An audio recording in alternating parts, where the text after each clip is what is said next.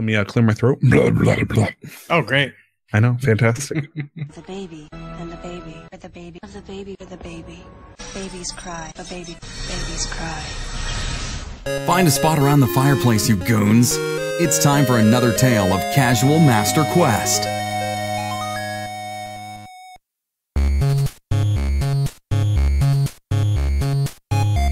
Aloha, everybody. Come on in. The fire is welcoming. There's dusty furniture to sit on. Get campy, get comfortable.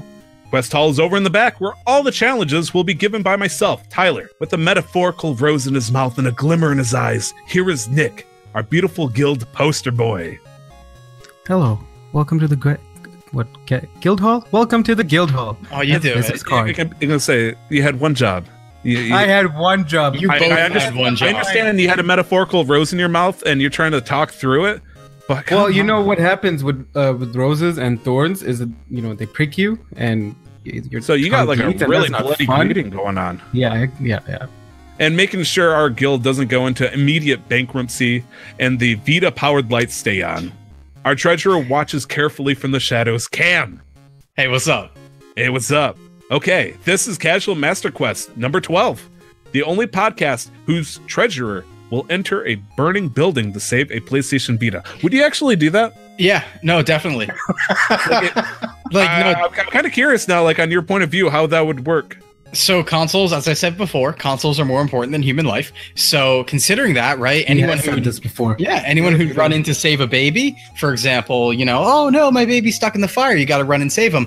Me for a Vita. Now, I would say originally I'd probably get the Vita out beforehand, but no, I'd, I'd run into a bur- burning building. Yeah, I, I just Because, imagine because you're yeah, with the form factor, you can just slip into your pocket as you run out. exactly. It's much easier than a baby. Baby. Babies are unwieldy and you know a little awkward. So I imagine you walking down the sidewalk, you see a burning fire, f- uh, firefighters are just shooting like crazy at this thing. All of a sudden, you hear the, the low battery notification of the PlayStation Vita, and you're like, I must save it. no, the Vita lives! And you jump face first. and you- Uh, I, can, I can see it. Okay, so how's everybody doing? Good. it's good. It's good. A little rushed getting here. It was definitely down to the wire for me. Yeah, no I'm- kidding. we had a I'm- wild week. Did we? I think. Well, I did. Uh, had a uh, I had a family member pass away, and that was. Oh, right, yes. yeah, I I know. I bring that one up. Ugh. It wasn't. Well, that's it for the show, folks. Yeah, have a good. I know, right? I, I love bringing the mood way up and then just skyrocketing it down just to see what happens. Uh, so far, we're flatlining. Nik, what's been going on over on your end? Um, I'm alive. You are alive. this That week is- than I was Congratulations. last week. Yeah. Um, no, just school. Um, if its finals are right around the corner, starting in a few weeks. Um, and I've just been playing a lot of lot of Destiny 2. But I do we- appreciate, and this is for the audio listeners. I noticed that Nik's eyes keep darting over to a different screen for no particular reason, of course. What you looking at over there, Nik? Um, right now, as we are recording, the Overwatch League finals are happening. Oh my god. Um, and while I am properly committed to this, I, I, I do feel obligated to keep an eye out because a I play Overwatch a lot. Um, my team that I support made it to the finals, and there's like six seed out of like the twelve teams that are there, and they're playing one of the um, three All Korean teams. And as we know, not to be stereotypical, but South Koreans generally are known to be good. Very Oh good. yeah, no, not even video stereotype. You know, it's hard coded in. Um, it's it's just uh, they're born with it. Right Yeah, to the yeah. jeans. wow. Okay. Uh, Yeah. It's just weird because maybe it was just me. I was always told that, and this is a stereotype, I'm sure, that uh, Japanese players were typically worse at shooter games because they weren't used to it compared to other types of games. And I would have thought that would have extended over to the uh, the rest of uh, the Far East. So, some reason it just throws throws me off that a shooter game would uh, be their forte still.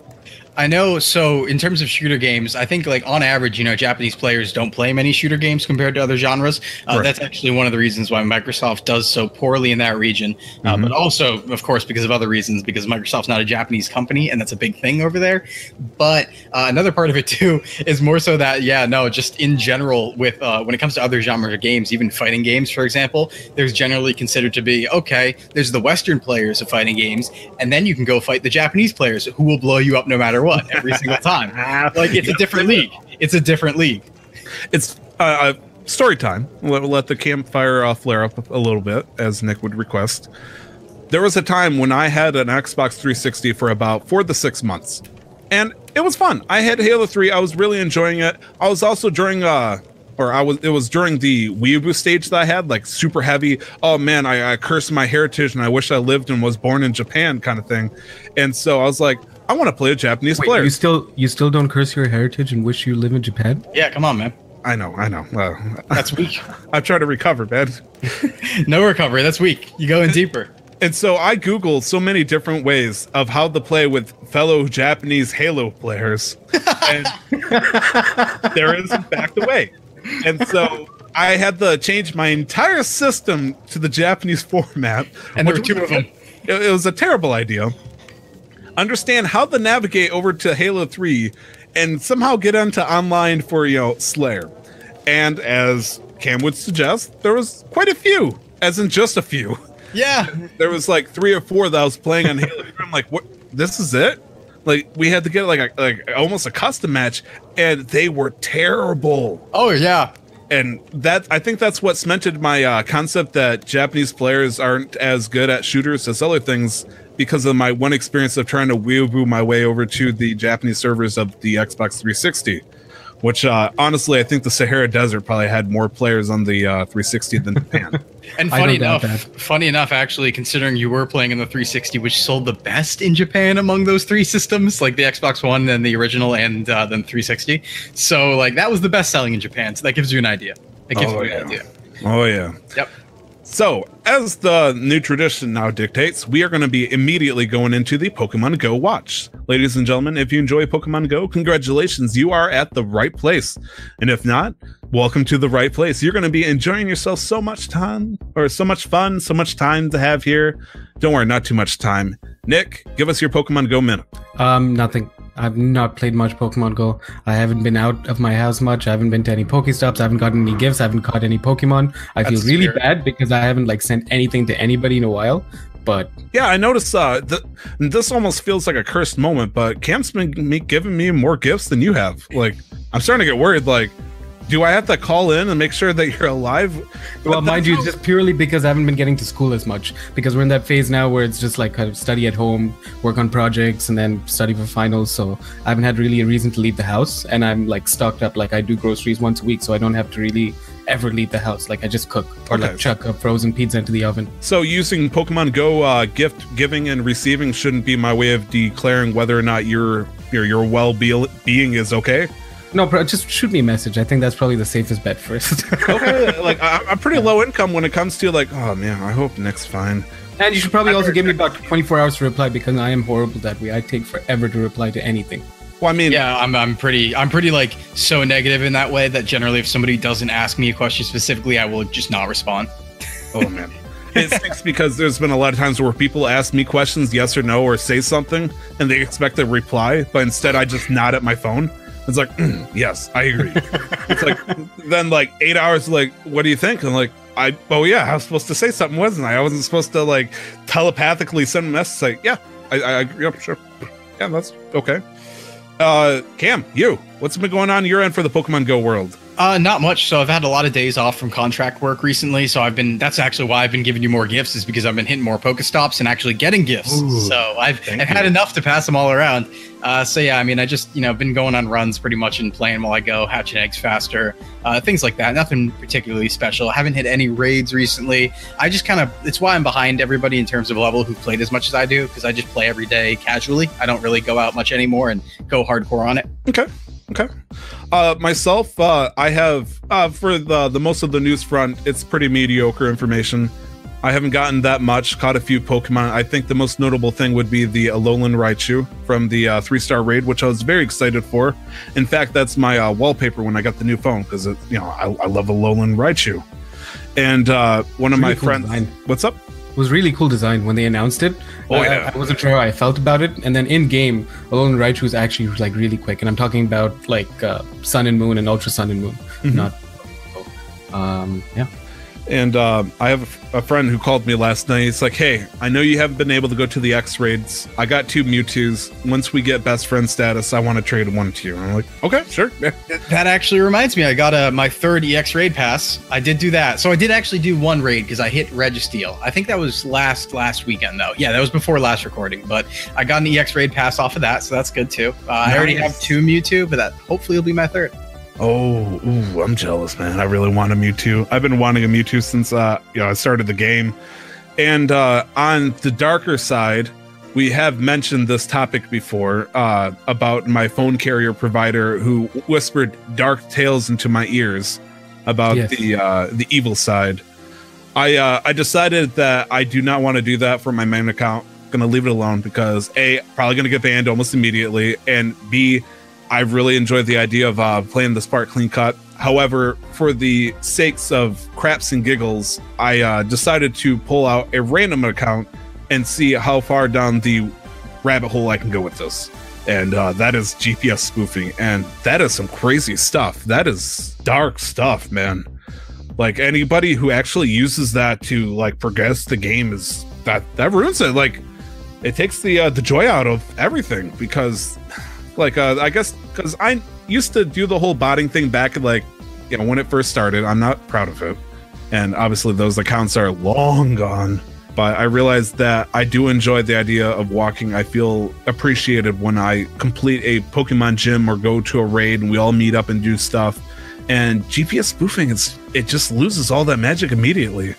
It turns it from a social commutative experience to like oh, let me sit in this chair and move this little virtual thumbstick and catch Rattatas, and that's my joy. It And then- becomes like, why are you playing it at that point? It becomes, Exactly. It's kind of like what you said on Twitter. Why, yeah, yeah. Why am I playing the? And so I don't think it's going to last for long for me because it's going to kill the game if I play it. The, Mhm. You know, leveling this character somewhere in the middle of, uh somewhere in like Northeast Europe. Just some random place that uh apparently has a lot of Pokestops, and I'm like, oh, I'll catch a Pokemon. This is fun. I can never trade these because I feel like it's going to immediately get my account banned. So what's the point of doing this? And so that's uh that's the Pokemon Go watch. Uh, probably five five minutes right there. let's uh let's put that one to rest. Nik, what have you been playing, buddy? Um, as I mentioned earlier, mm, Destiny 2. Really? Destiny 2, Destiny 2. Is that a new game? Did, that just come out? brand new game. It's actually I'm actually in the uh, closed beta. It's actually coming out September 4th, and it's launching not as Destiny 2, but as Destiny 2 Forsaken. Stop. Does that come with uh, an expansion pack where we're supposed to forget every single thing that happened about Destiny up until that point? I've never heard of that game. This is just Destiny 2. It's a brand new game that's launching as Destiny 2 Forsaken. Okay. Um, Whatever Okay, helps so- sleep at night, so man. I'm gonna I'm gonna go on my on my own little like little mini rant here about Destiny 2. Go for it. Um, Destiny, Destiny 1. rant minute. Destiny One towards towards the end of its life cycle, um, year three as we called it, uh, there was a lot of imbalances, be it with uh, weapons and uh, player abilities, class abilities, subclass abilities. Bungie just had a very poor did a very poor job of balancing things and communicating things and just getting things deployed on time. To like for a game that has such a big uh, PvP player base, they were shipping out fixes and balances, you know, six months at a time. And you can't do that for a game that had like such a big concurrent player base. And so what happened with Destiny 2 is they wanted to reinvent everything essentially. They kept Right. the lore, the mystery of the lore, the way you do things to some extent uh, the same or they uh, made it better. Uh, the core gunplay, the, the way guns feel and how you move through the space is fantastic. They did a fantastic job with that. But when it came to player abilities, to weapon balancing, to what the weapon meta uh, settled to, they did a horrible job. So they had a weapon system where you'd have a primary weapon, like an assault rifle, a, a burst rifle, which we called pulse rifle, a scout rifle, a hand cannon, which was just a pistol, um, or a sidearm, which was like a smaller pistol but didn't hit as hard and didn't have as much range. And then you'd have a secondary weapon like a shotgun, a sniper rifle, and a few other things. And then you have a heavy weapon, um, which was a rocket launcher and a light machine gun. So in a PvP game, you'd have uh, heavy ammo drop once or twice a map uh, match that everybody could collect, and that you know activated a few minutes of frenzy. But otherwise, people had to rely on their primary and secondary weapons. Um, and so this you know we had a shotgun meta we had a sniper meta we had all sorts of like weapon combinations that were just fun to play and fun to do things around um, and then year three of destiny 1 that sort of um, you know uh, went all, went to hell because uh, some uh, what you call it character abilities subclass abilities were being abused some weapon types were being abused and bungie did a very poor job of balancing now when we come to destiny 2 what bungie did was they changed the weapon system so now you had um, shotguns, rocket launchers, sniper rifles, all lumped into one um, uh, category, and they rename into the heavy ammo category, basically. So I, I understand the logic because they wanted to force it uh, to come down to player skill and not to like the kinds of weapons they were using necessarily. Like for example, I know I can outshoot most other players with a with a pistol or with an assault rifle, but Oh, the man, moment they have confidence there, don't you? to some extent i have confidence i'm not like a great player but i know i can do quite well but the moment they pick up uh, ammo for a rocket launcher i lose and when that happens so often it gets frustrating and on the pve side rocket launchers and sniper rifles should not be in the same category just because of the amount of dps that they do right? Um, and so they made like a lot of questionable choices when it came to the weapon slot management. A lot of questionable choices with um, a lot of quality of life things that they uh, removed from the game. Destiny One had private matches. Destiny Two they had to add private matches in. Really? Yeah. So it didn't come with the base game, which made no sense. Um, and a lot of it seems like Bungie were being forced to make decisions and forced to put out a game, probably because of Activision. I feel Bring like down I the next. More than likely, I wouldn't doubt that one bit. I bit. can't. It's I can't. always the publisher's fault. I can't put all the blame on Bungie, uh, but I can't take a lot of it away from Bungie. They made a lot of questionable choices, and I feel like if we had more time, or if sorry, not if we, if they had more time, I would be okay with them taking two years between Destiny two, Destiny one, and Destiny two, and giving out like a game that we deserve. What Destiny Forsaken is going to be. That's totally understandable, Nik, but Mm. it's you can wait. The stock and shareholders cannot wait, and Exactly, neither can yeah. the publishers. So The problem is, so while I understand that from the stocks, the shareholders, the publisher, what a lot of gaming companies don't realize is whatever they do for the consumer in the long run will give them will have the better payout.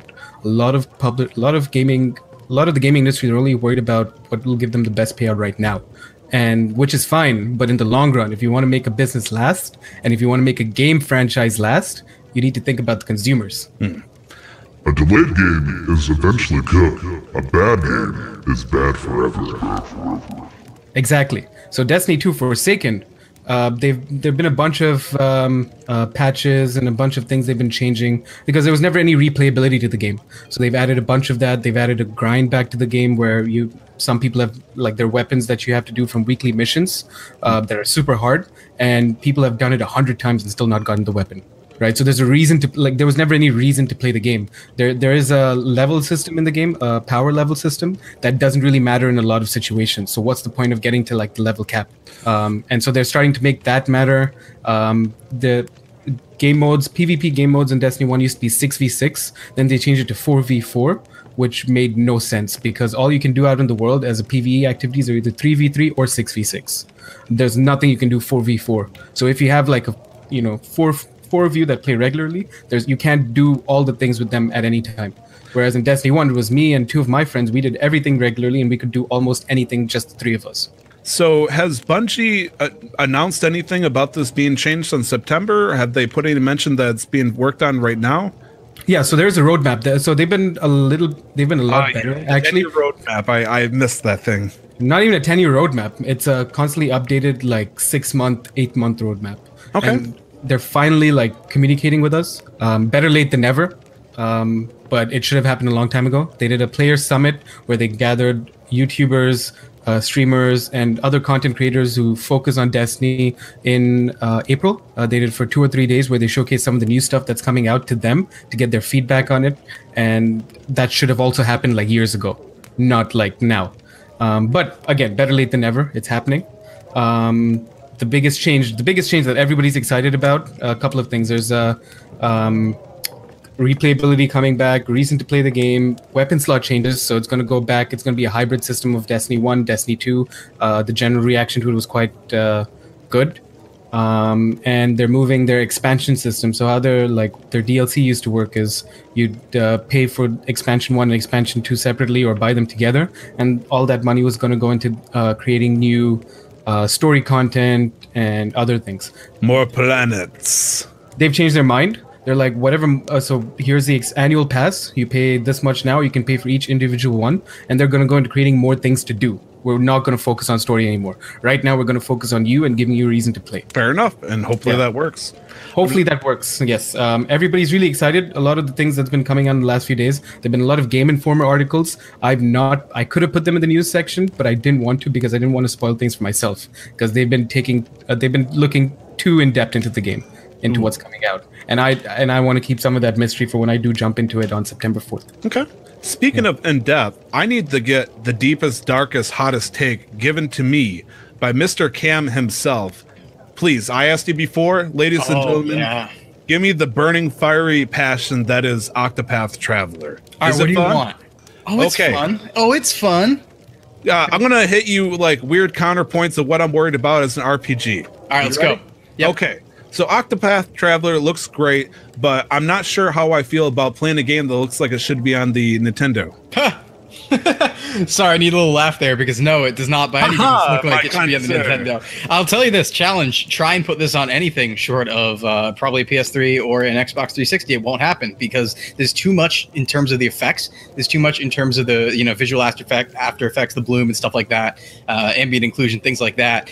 To actually run on a system, like the sprite itself, or this is actually a fun thing. So the sprite itself, because of how shading works and how lighting works in the sprite, it's actually a 3D model a lot of people are theorizing. We're not 100% sure on this, but because of the way that the light refracts off the characters um, as they turn around and like move in the world, they might actually just be 3D models that appear to be sprites, which is something that uh, people have worked on before as well. Beautiful game. It's incredibly beautiful. It's Playing beautiful. devil's You can't. It's hard, man, because No, no. great. I will say you can't. Of course, you can't put it on a Super Nintendo. No way. No way. No how. And the people who've said this game should be twelve or twenty dollars because this has been a take people put out. The get people said it should be twenty dollars because it looks like you know it's a sprite based game. Just that's the worst possible take I've ever heard. One of the worst I've ever heard.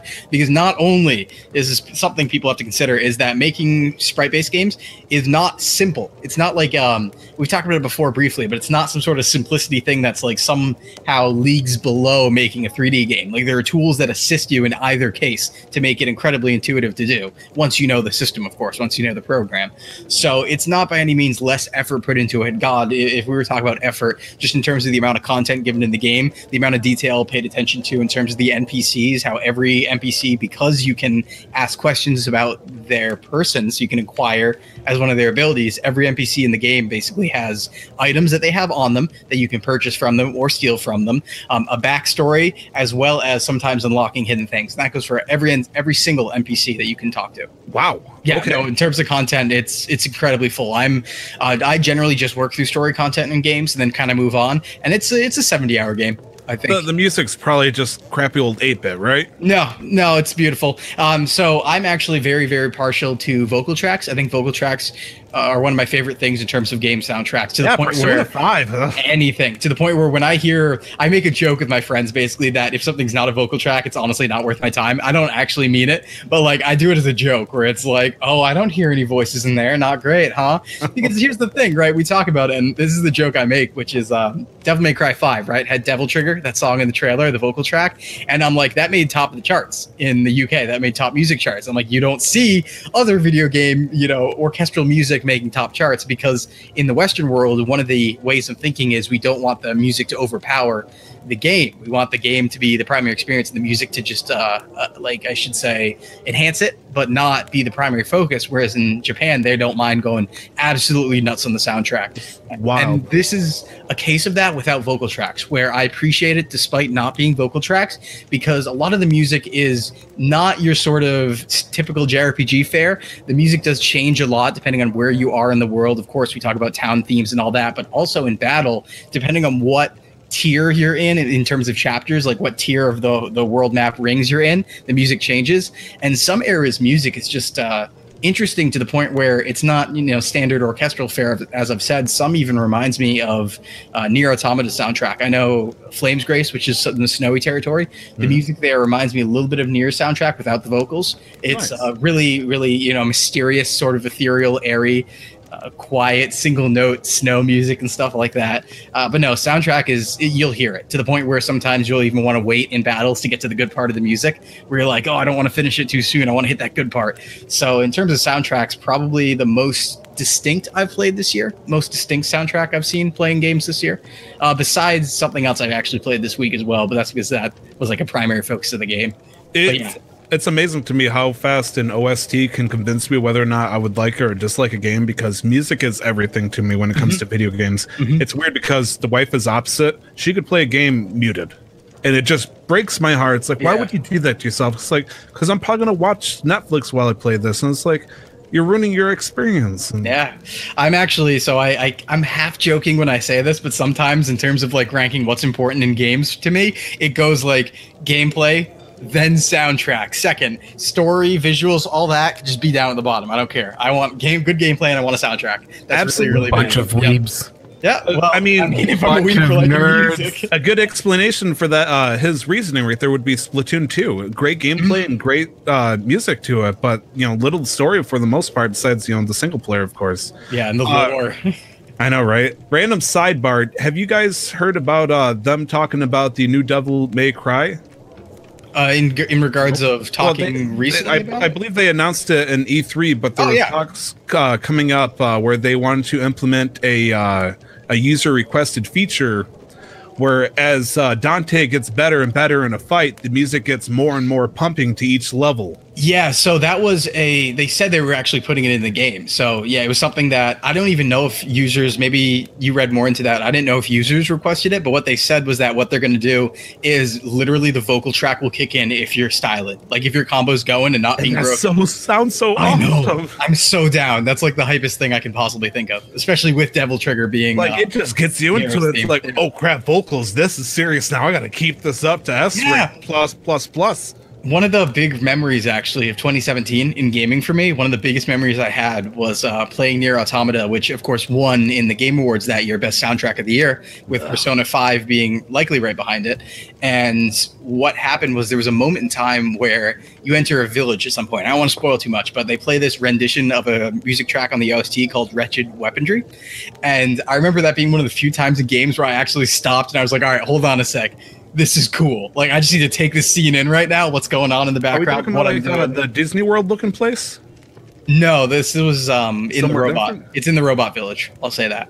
Okay, okay. Yeah, yeah, it's in the robot village. Uh, certain part in the game when you're. Uh, it's actually path B or C, I think. So Okay, because I, I I played a little bit of it before I gave up uh, after the third time, and uh, the music can be both enjoyable and very unsettling at the same time. Uh, it goes off the tracks the wrong way real quick once you realize what's going on. Oh yeah, yeah. No, you need see the thing is you need a cranium, you need a brain that's about like a thousand times the size of this room to understand Nier. You need a Rick and Morty brain in order Yeah. to understand and appreciate Nier Automata. Exactly. You need to be Um, a basically genius level to understand Nier Automata. Uh, getting them Watch back. some- sorry. No, go ahead. I did watch some Nier Automata gameplay for the first time. Like it's a game I'd always been interested in, but I didn't want to like see too much of it before like I played it, Yeah. kind of thing. But I did watch uh, some gameplay of it, and the soundtrack was amazing. And talking about soundtracks, and I know at this point I'm probably a shill. I'm probably being paid Yeah. off by, Bob, but the Destiny soundtrack, No, I don't remember it at all, unfortunately. that's I- fair. But I, there's some moments where it's just mind-boggling. The first soundtrack was actually made uh, like the first without any of the expansions. Um, like OG Destiny soundtrack was made in collaboration with Michael Salvatori and Paul McCartney, I think. Oh. and it was a, it's a beautiful soundtrack, and it so. If anything you can take away from any of the Destiny games, it's the art and the sound are always on point. So I feel bad for those teams because everybody else is failing them. Right, They put right. so much effort and love into the like these aspects of the games that that's the only kind of redeeming feature for about five minutes before the like gameplay is just like I can't do this anymore. It's just boring.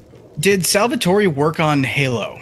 Do you know? Because I remember seeing that name a couple times alongside Marty O'Donnell, I feel, I f- on the Halo soundtrack.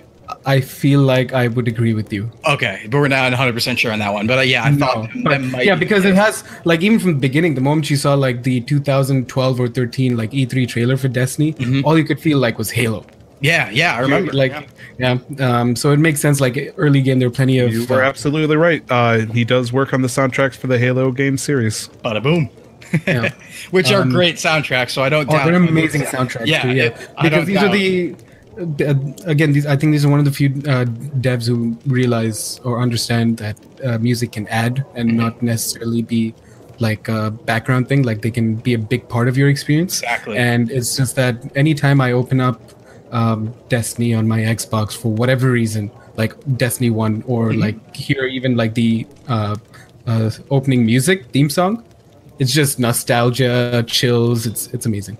Anyways. Yeah, it actually reminds me a lot of, uh, especially that point. I think it was in Halo Two, where you're going through the, the you know Covenant High Charity, and they play like that Breaking Benjamin song out of nowhere. Do you remember that? mhm, Yeah, yeah, yeah. mhm. Stuff like that sticks with you though. That's what I, I'm always shilling vocal tracks. Because I'm like, you know what? You think back about game soundtracks, what do you remember? Like in terms of like the best trailers to ever exist, right? The best, uh, you know, people will be like, oh yes, Simple and Clean, Kingdom Hearts, Mad World for Gears of War. Like they're always vocal Exactly. tracks you think about. Yeah. So I'm like, Tears great. and lies, they're great.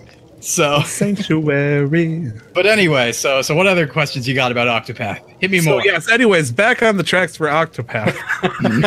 like this train fell sideways off a cliff, went through a couple of forests, came back up, landed back on the tracks. We are keep going. Uh, so it has good story, it has good graphics, it has good music. Uh, how, we didn't even talk about story actually, so feel free. Okay. Oh, no, actually, no. I'm gonna back up. I'm gonna have. I'm gonna say it's a safe bet that this has a decent story. It's unique. I'll say that much. So uh, what I will say it's not eight people trying to save the world. No, and that's the best part. So that's actually really quick. I'm gonna keep this to like a two minute tangent. But one thing I always kind of lament is RPGs are always save the world and always, you know, fight the evil god, save the world, right? The big bad empire. And what Octopath does is just like, nah, these eight stories are pretty self-contained. Uh, they're not major. They're stories you won't see in any other game because any other game with single protagonist has to focus on some big story. So in Octopath, you'll get something like, you know, yeah, no, this this apothecary over here, he just wants to travel the world and learn more about um, being an apothecary and try and be the best one he can. Uh, in another case, it might just be like, yeah, this one guy eh, or this one girl's trying to find her master who went hunting a beast and never returned. And they're just simple, small stories like that. But I appreciate the uniqueness of having a story on that small scale. Okay. Uh, battle mechanics. Is it going to be rough and tough for a newcomer back to the old uh, RPG style?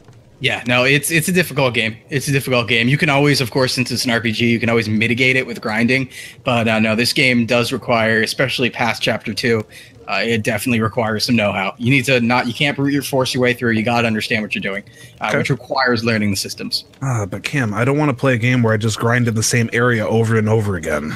There's no grinding in this game. You don't have to. You just said that you'd have to grind. Oh no! I said you can mitigate it with grinding if you're a dummy. So that was what I was saying oh, there. Oh, oh. Which was which was basically what I said was Are you trying to say that gamers are not the smartest people around? No, they are, and they should play more RPGs. Because my point is that basically you can get by totally fine without grinding and beat the game. I did, uh, but if you want to mitigate how difficult the bosses are, you can grind. But that's very unnecessary. What I more mean is when I think about grinding and requiring grinding, what I think that means is okay, naturally through playing the game, you are not at a point where you can fight the boss. You need to go and grind specifically to go get levels so you can fight the boss. In Octopath case, it's like, okay, naturally playing the game, you're going to be on the level curve. You're going to need strategy to beat these bosses. If you don't want to do strategy, if you're like, I just want to hit buttons, then go grind for 30 hours and then fight the boss. But it's not fun that way.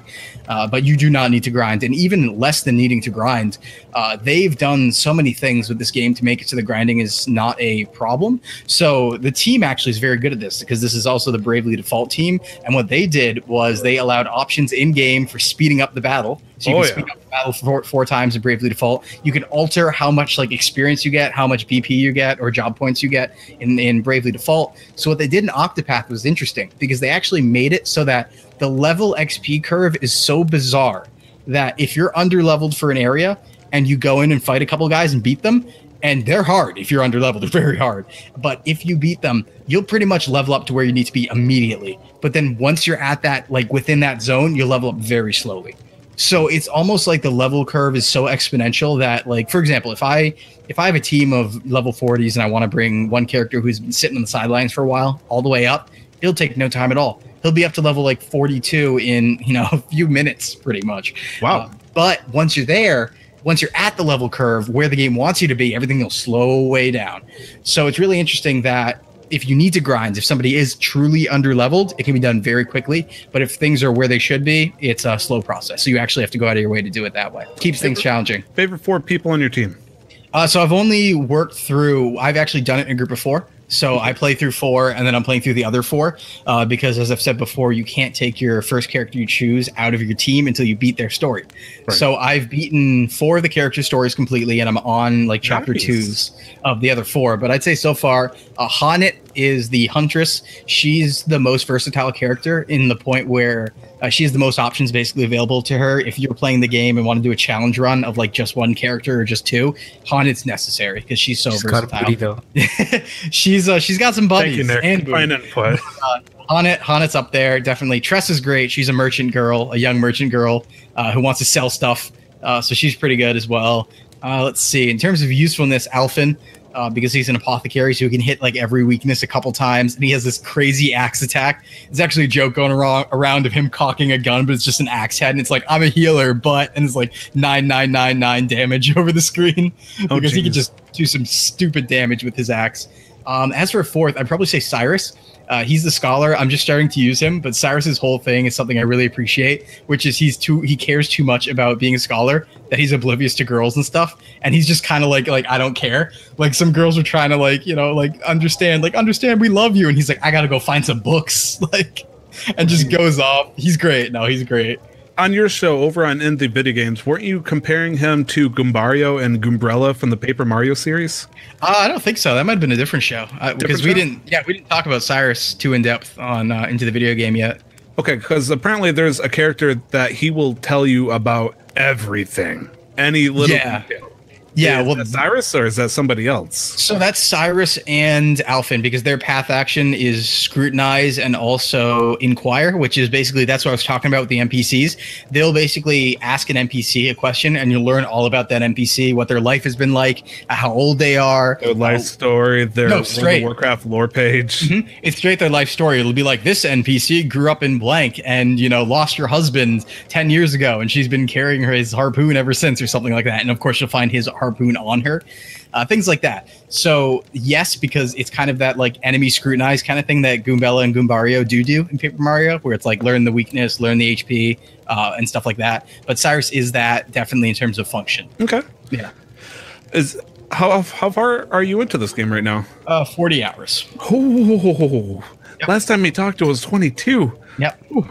It's an RPG. So when I when I get my RPGs, when they come to my desk and my fangs are bared, they go in. We go in until we're So done. it's it's not a good game then. Otherwise, no, it's general. a- absolutely terrible. Absolutely terrible.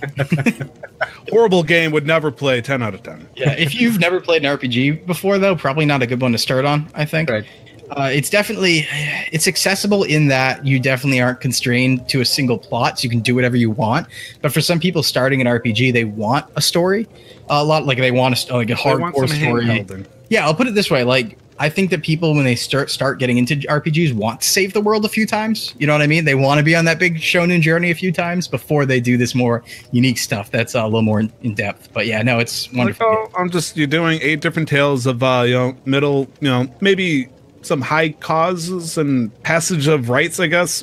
But save the world is just like the top big thing. Yeah, no, some of them are really funny because like right now my team is like a, three people who are kind of just in it for semi-selfish reasons or exploratory reasons. So like Tressa's like, "Eh, I want to go sell some stuff. You know, uh Alfyn earlier was like, I just want to travel the world, get some potions. Uh, Therion the thief is like, I got to steal some stones because of my pride. I got to I got to do that. And then Primrose is there as my fourth character just kind of chilling and she's like, "Yeah, so uh my dad was killed by three dudes when I was a child and I've had to grow up in a whorehouse ever since and I need to vengeance. And it's just like, oh, Oh, like compared to everyone else just standing around like, Huh. That, that's like Team Seven of Naruto. Like I'm Naruto. I like to make clones. Oh man, I got the hot for this. Uh, this you know this dark, cool looking kid. And then there's like Sasuke is just like, I need to kill my brother. my my brother killed my entire family. it's exactly I like need to kill him. Uh, Oh gosh. One Uh, funny thing I found though is there is some story disconnect because of that, where the game has to treat each character like they're alone in their stories. So there'll be some scenarios, for example, where like I was playing as the cleric, who's like uh, you know, lady of the church um, sister, right?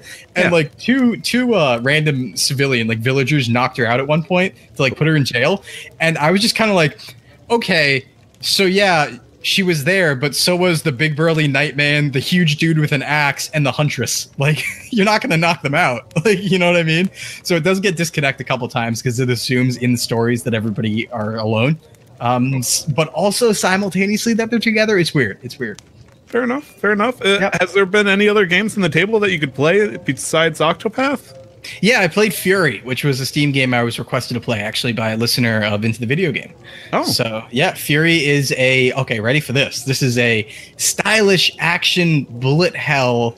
Oh boy, there's a couple more. Hold on, stylish action bullet hell, shoot 'em up, but also um, boss rush.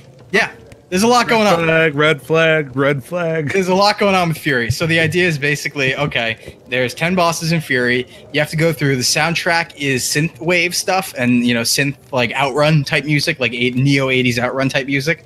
So it's all like heavy beats, like dun dun dun dun dun dun dun dun dun. And uh, basically, what you got to do is you know fight the ten bosses. The action is you have like one combo button basically, but everything is moves so incredibly cl- quick. It's all about parrying. It's all about dodging. Uh, you have basically teleport to dodge. When you parry, you recover health and uh, there's some crazy mechanics in that where once you get a boss down to a certain level of health basically you enter a close combat mode and if you lose that fight the enemy will gain back all their health and you'll lose a full bar. But if you win you gain back all your health and they lose a full bar. And each enemy has like six stages but also different patterns of attack between all the stages and some of them are just bullet hell. So bullets just you know shots will just fly out everywhere. You got to dodge them it's a very difficult game. It's meant to be an incredibly difficult uh, game. I'm playing it at the normal difficulty and i'm i'm doing it. I'm making it happen. I'm about halfway through right now but uh yeah it was pretty wild. It's definitely worth the seven bucks i paid for it Okay. Uh, I, I see Space Harrier. yeah space harrier so i Oh, played that on is this your. Friday game?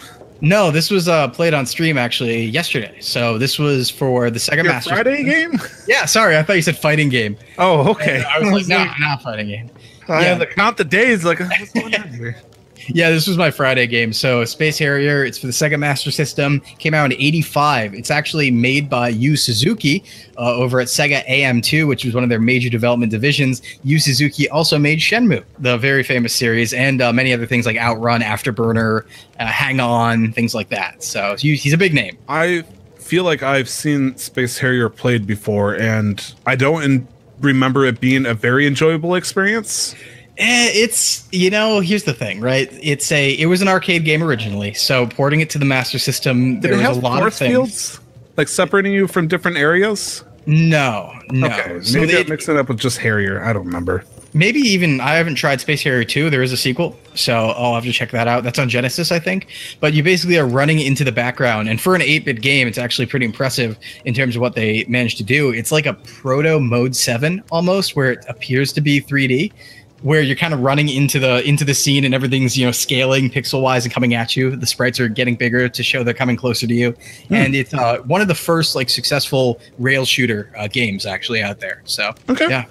Uh, how far have you gotten into it so far? So we generally we play with those games. You know, they're very quick. Shoot 'em ups, especially, very quick. We abuse save states. I just kind of want to play it. So I got 14 out of 18 of the levels done, and then our we accidentally saved over a death. So I just kind of started over and played it. Ah, that's right. I was I was there.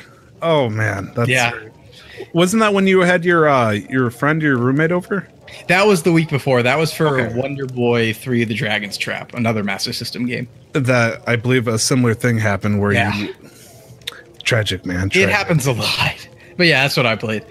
Nik, I just want to bug you a little bit over here. You mentioned something about playing a certain Pokemon Quest game on the phone. Did that ever come to the fruition or no? No, I, I I got about five minutes in and I got bored instantly. Good. Thank God. yeah. Good. Just run. Just run. I'm about to uninstall it actually. Any luck with uh, Bayonetta? Actually, so I, I know you were not yet. I wanted to, but Destiny 2, man. Like, I wanted to play that, and I think I don't know when I'm gonna get to Bayonetta actually, because Play we've even got Monster Hunter World coming out on August 9th. Fair. And as soon as my finals are done, that's all I'm gonna be playing until Destiny 2 Forsaken comes out. I'm down. I mean, I'm down for you playing that. I'm not down because I already played Monster Hunter World. For That's fair. Yeah, I've seen you. I've seen you play Monster Hunter World.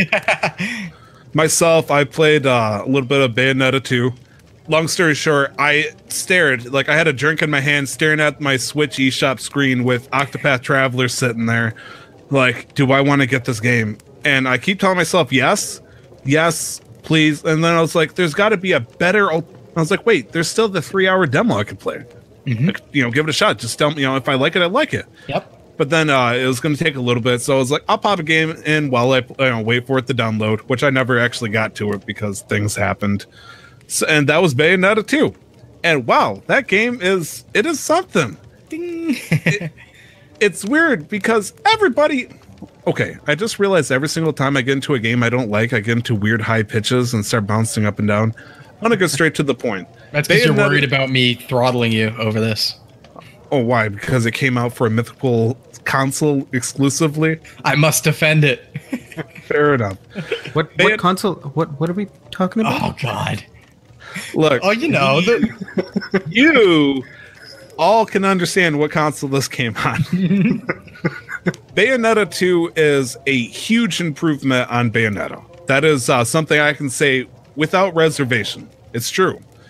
The problem is, though, it feels like I'm hardly playing so much as pushing a single button, maybe alternating buttons every now and then, and I see this uh, very pretty lady bouncing around and murdering stuff, and then, you know, yo, so close, too slow, and you know, slowing down time, and then turning into a bullet hell, and then occasionally, and it's very interesting because this is every single time I see a cutscene, I got to take a shot of something because I know something weird is about to happen.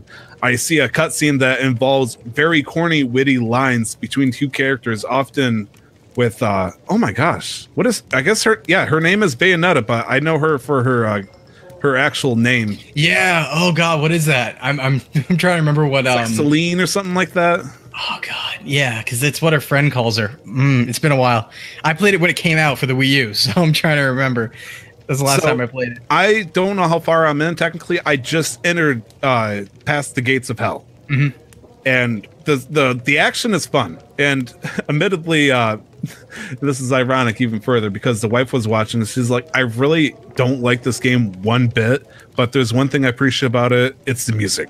I'm like, really? And she's like, yeah, I like the the uh the artistic style of the music. There's got actual vocals to it, which you know that's right up uh Cam's uh area right there. And uh it's a it's a fun hack and slash. Yeah, Except there's, there's no slashing. And uh, I think I hit the 20 hour mark of my current Terraria run. So I'm having fun with that a little bit. Uh, got into the hard world with her. I'm I'm building very creatively because usually I just do very minimalistic, do whatever you can. But rather than shoot ahead of uh, Amanda each and every time that she goes to work or whatnot, I've instead started building creatively, and I'm starting to make cool things like uh, a warp room and a room where I show off all my old armor sets and all that stuff, and it looks cool. I just wish she was doing something like that too instead of rushing ahead, because then I got to catch up to her. But then I, you know, I'm putting so much darn time into this, it's crazy. But yeah, that's pretty much it right there. Terraria, Bayonetta 2, and Pokemon Go. Sweet.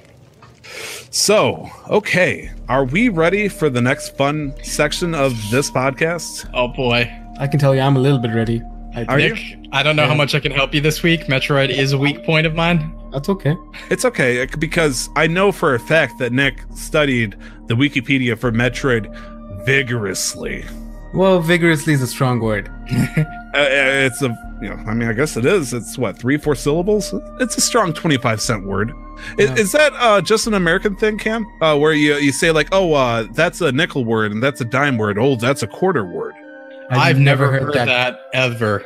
Okay, so this is random, but it stuck with me, and other people have actually uh, coincide with saying this with me. Huh. Uh, if if it's a common word, you'd call it a penny or a nickel word, and then if it's uncommonly used, it's a dime word. But a word like splendiferous or whatnot is a quarter word. So when vigorously came to me as a quarter word, but is, is okay. Maybe, so maybe that's up in your understand, area. I don't get it over what here. I understand what you're trying to get at, but I've never heard that. Yeah, before. me neither. okay. Yeah. Oh, that, that that's awkward. No American backup on this one, friend. so I'm terrified now. Uh, if Nik is, I, I would say open season. I would say Cam, help him as best as you can. Okay. yeah, that's gonna be my best. I'm gonna but- say this. This looks like it's gonna be a rough one because this is uh this is a weak spot even on my field. Like I I made sure to use the things uh that I knew personally, and I was I had to be careful because uh there was a couple of them where I wanted to get deep in the rabbit hole again. I was like, no, bad Tyler.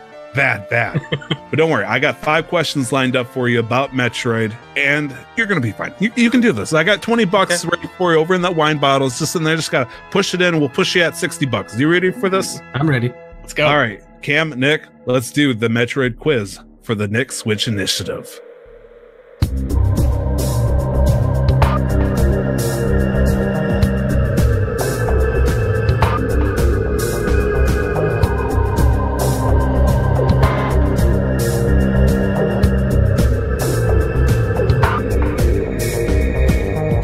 Now, Nik, you got two this week, so Yeah. make them count. I'll let you know if I know something.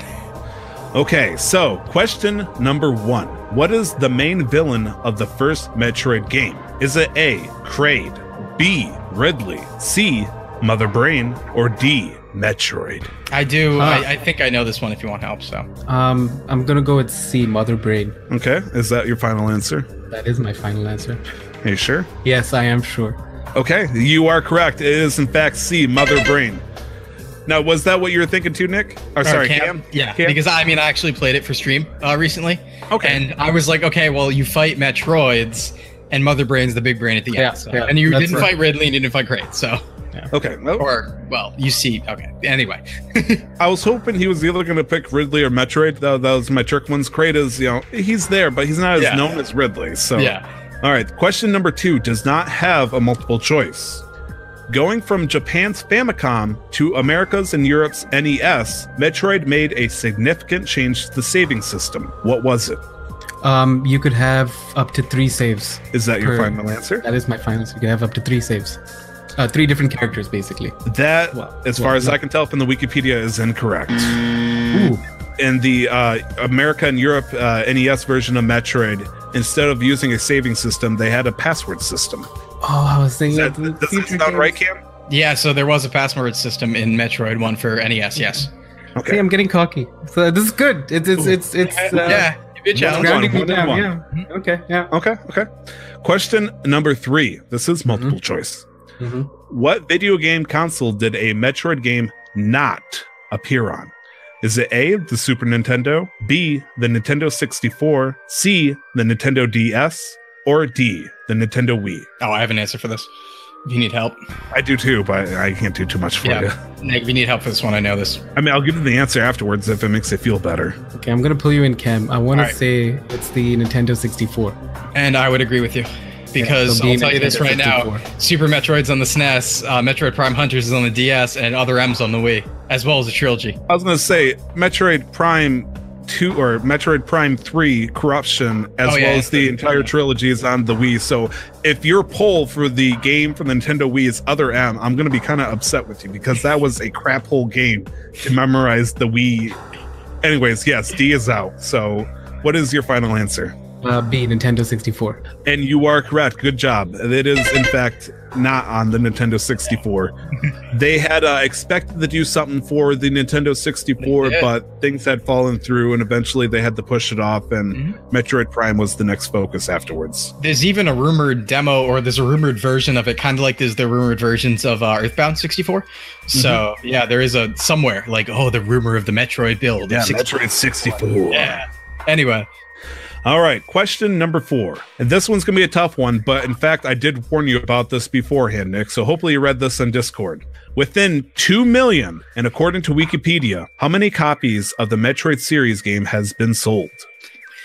Um, so I just like to say that I did in fact read uh, your message in Discord. Uh, you Okay. did indeed to all the listeners. He did indeed Did you, warn me. did you do Control F uh, numbers? I know I know the answer if you want help. So I did not do control F numbers. I just read the Wikipedia page because there are often times where I'll find start up looking at like video game articles and eventually end up on the topic of lobsters. So my answer would be 17.44 million. Holy smokes, down to the wire.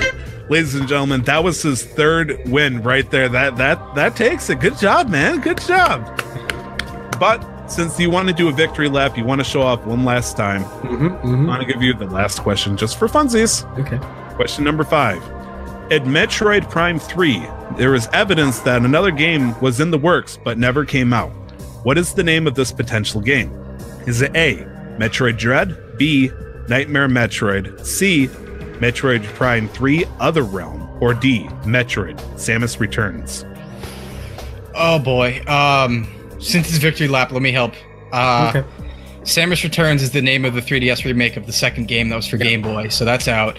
Uh, Metroid Dread is a thing because Metroid Dread was the theoretical name of Metroid Prime, one of the theoretical names they're throwing around of Metroid Prime 4, and that might have been, if I remember right, in relation to that, it has been something that showed up before. So it could be Dread.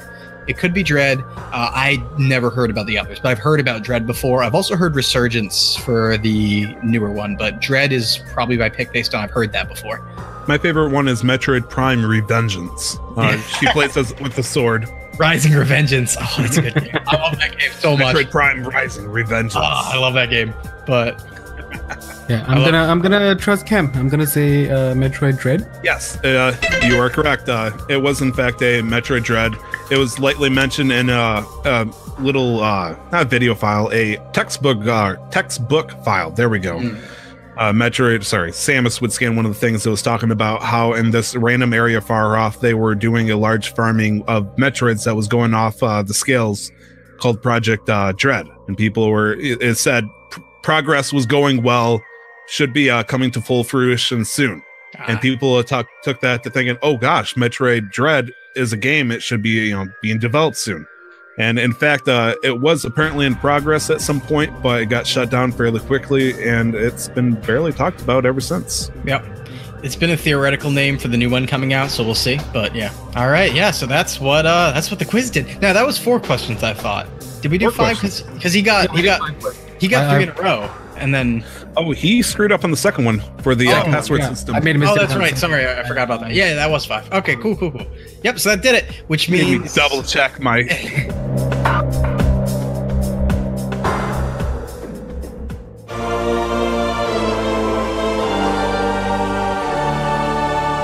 Five numbers, jeez. which means Yeah. next week's me. And what are we doing? Ooh, who, who should pick this time?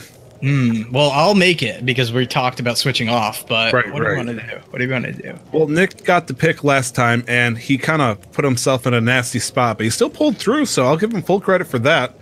Cam, I feel like if you're gonna make it, I did make and choose the first time myself. How about you pick it and you get to set the score? Okay, how about this?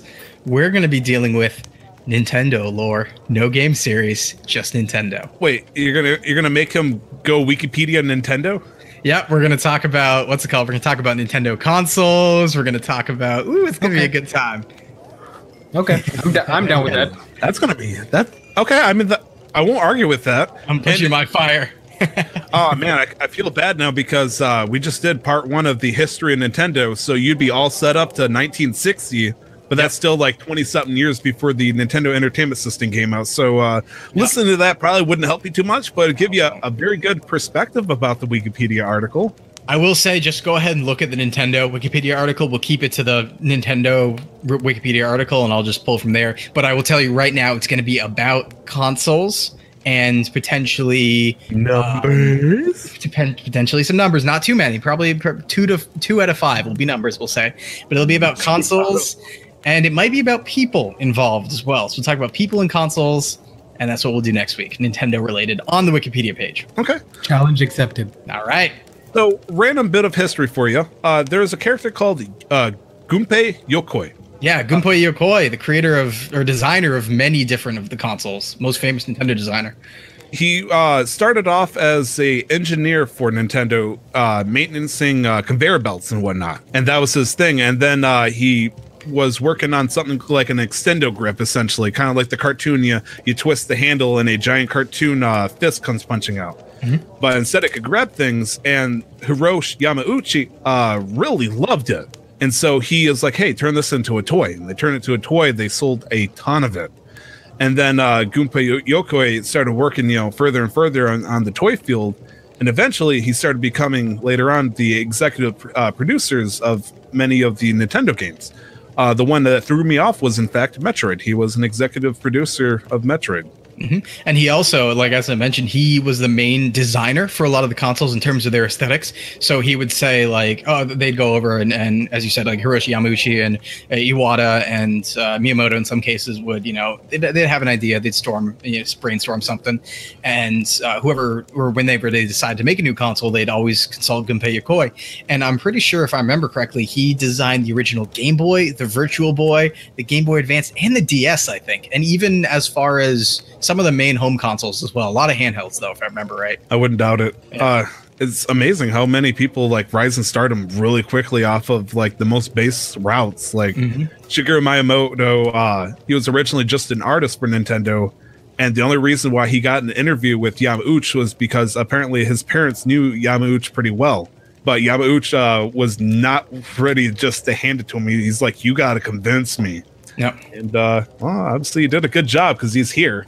Yeah, remember those names, Nick, because they're going to come up next week. I'd say the four big ones you're going to want to He's going remember to be on the test. is remember Hiroshi Yamauchi, remember Satoru Iwata, remember Gunpei Yokoi, and remember Miyamoto. Okay. Shigeru Miyamoto for full name. Spark So, notes right there, baby. Yep.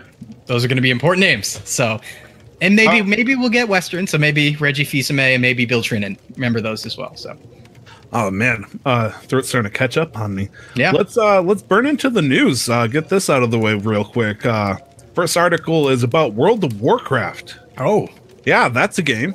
yeah It's a it's a real popular game actually. yeah Uh, it, it was announced last week that instead of making people pay 20 bucks to buy every expansion up until Legion and then pay for Legion and then pay uh, 15 bucks a month, they said screw it. Uh, everything up to uh, and including Legion is now completely free. And uh, you just got to pay the 15 bucks a month now. And you, you know, 15 bucks a month, you can access every single expansion right now, all the way up to Battle of uh, for Azeroth, which uh, is coming out later this year August Which- 14th, I believe.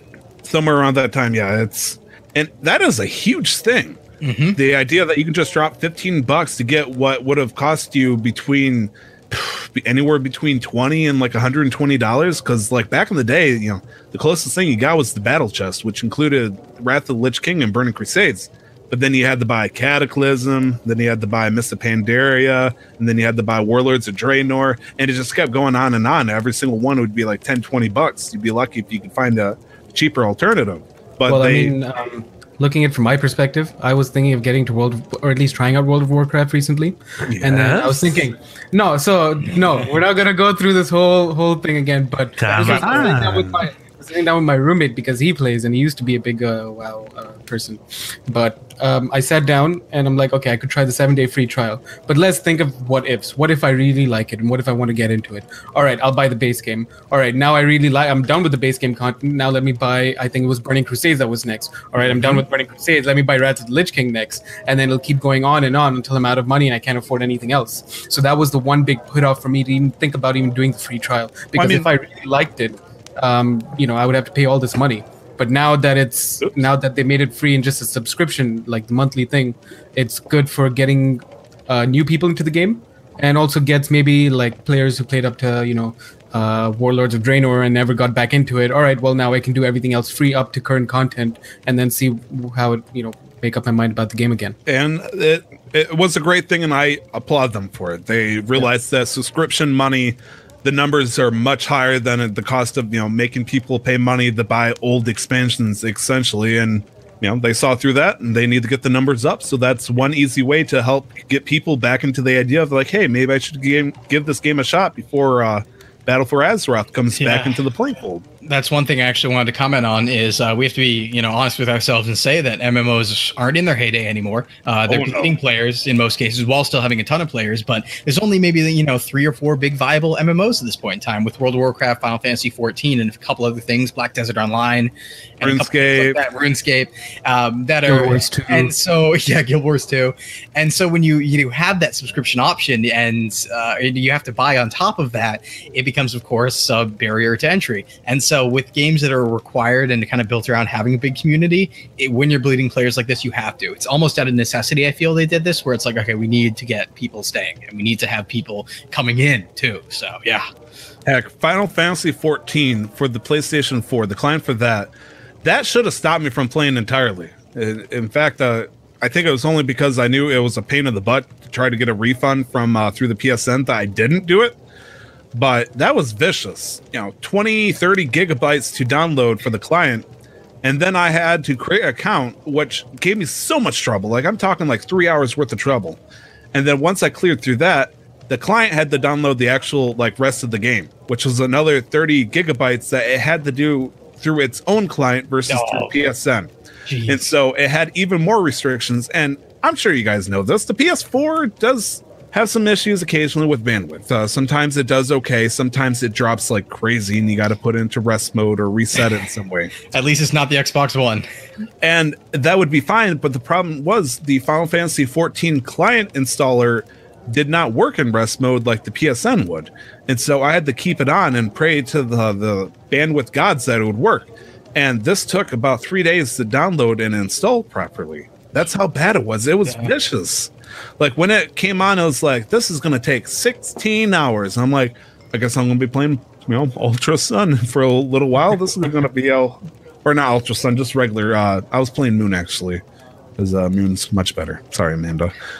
Anyways, back over to World of Warcraft. The that wasn't even the actual topic. The the real topic was World of Warcraft had uh, recently done some changes to the way that uh, levels and health and all that has uh, been readjusted. Because before, I was talking with uh, somebody about this very specifically. You could have two million health at the you know max level.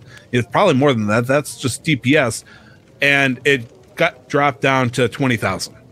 2 million to 20,000. That's how crazy exponentially these stats have been adjusted. Uh, we haven't seen numbers like that since Burning Crusade and Wrath of the Lich King days. And they have adjusted the enemy health as that as well. The problem is, though, going from 2 million to in the thousands, that is such a crazy percentage to adjust to anything that it's been giving people some heavy troubles from level one to like level 110 uh just that the grind because suddenly monsters that you were able to you know, let's say at level 30 you could burn through stranglethorn valley all day and half the morning no problem suddenly these guys are actually fighting back because their strength checks were only in the hundreds but they, they got adjusted weirdly to where they're actually fighting tough Oh, okay. they're difficult again. And since you don't have as much health as you thought you did before, things are giving you a lot more trouble. And with that, suddenly people are struggling to do questing and whatnot. Uh, the friend in particular was telling me that he his favorite thing to do nowadays is going to old expansions, tearing through raids, and getting cool transmog or you know cosmetic gear essentially. The problem is though, uh, he would go through a level 60 40 man raid that he could blow away by himself. Suddenly, it's given him difficulty for the first time in like six seven years. Jeez. And it's like that. I mean, I think that's great, honestly, personally. But apparently, if you're by yourself and you're just trying to level up through the old quest, you're having a crazy amount of time. And uh, right now, uh, it looks like Blizzard is actually had put a second stat, or sorry, no, they put a uh, squish sometime near Cataclysm, which made things uh, really, really weird. But uh, they've been throwing hot fixes every single day just to try to fix this and make it right, so somebody doesn't get instantly murdered by a monster their level. Yeah.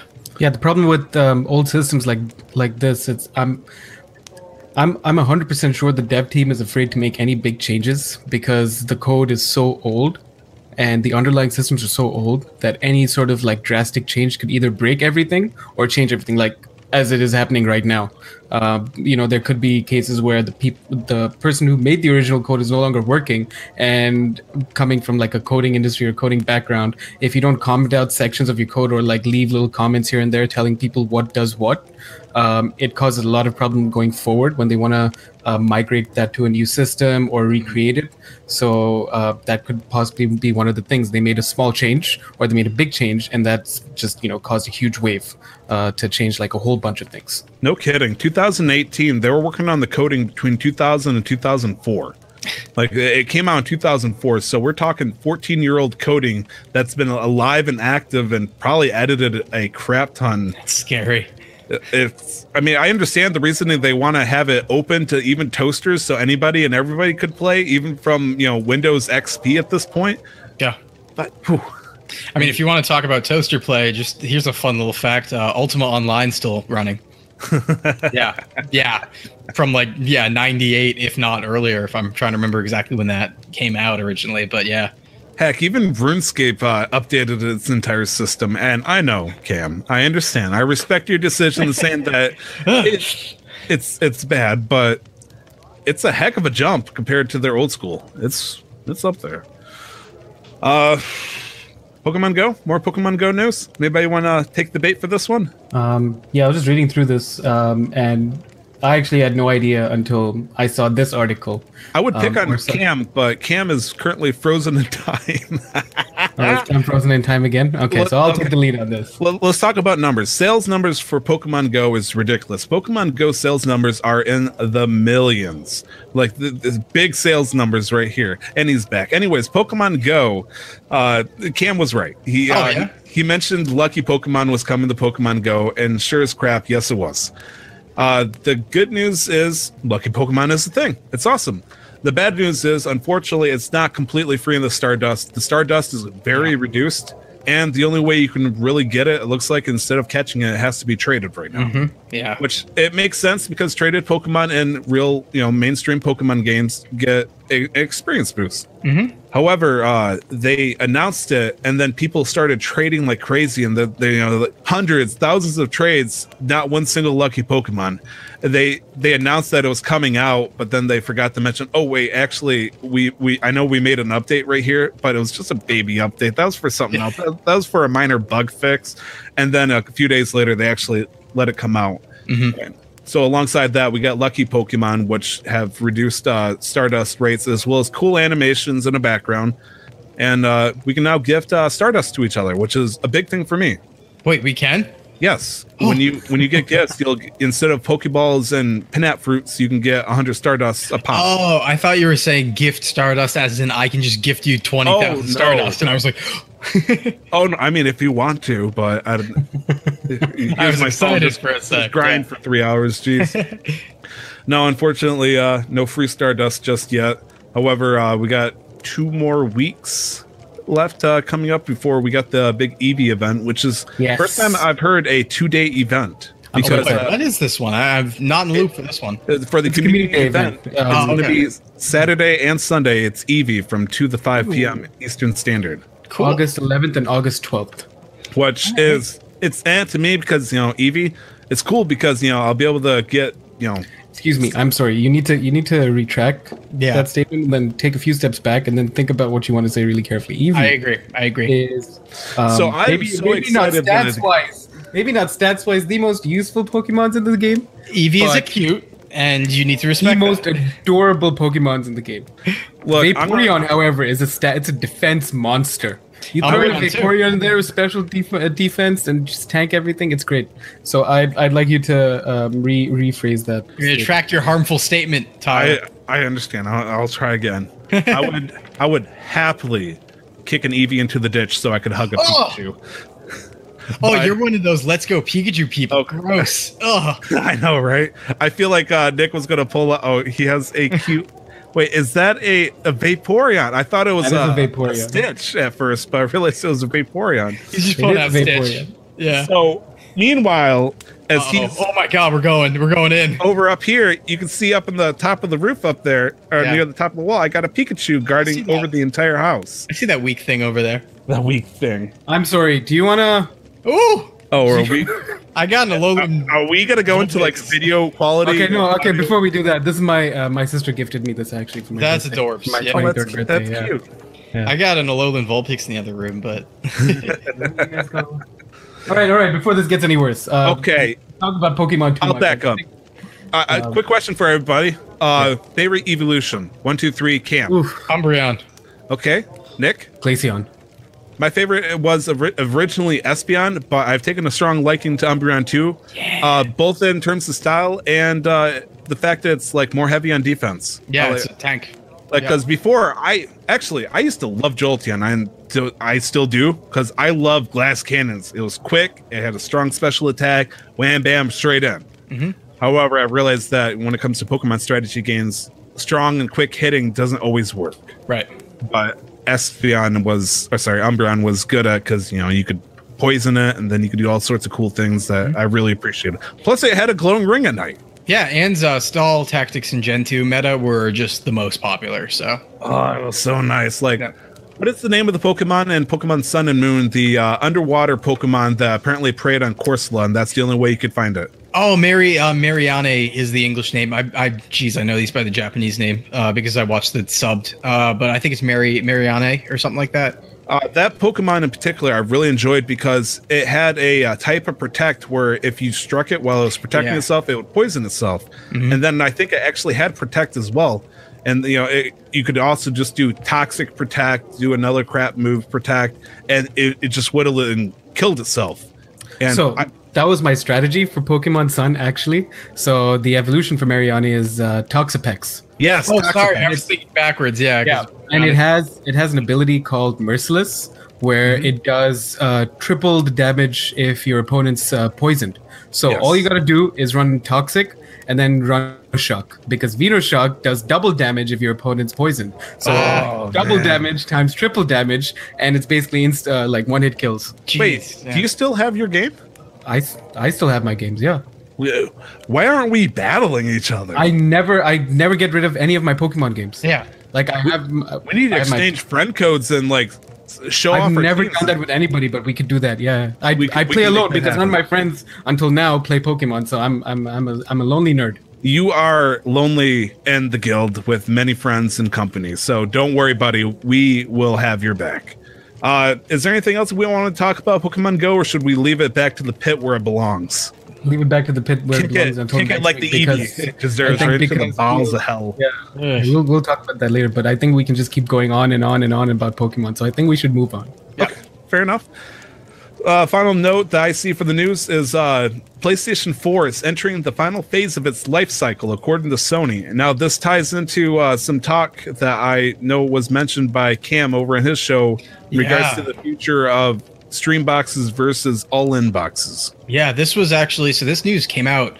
Uh, this was an older news story too, because this this came out like a month or so ago. I remember it was a good few episodes ago that we talked about this.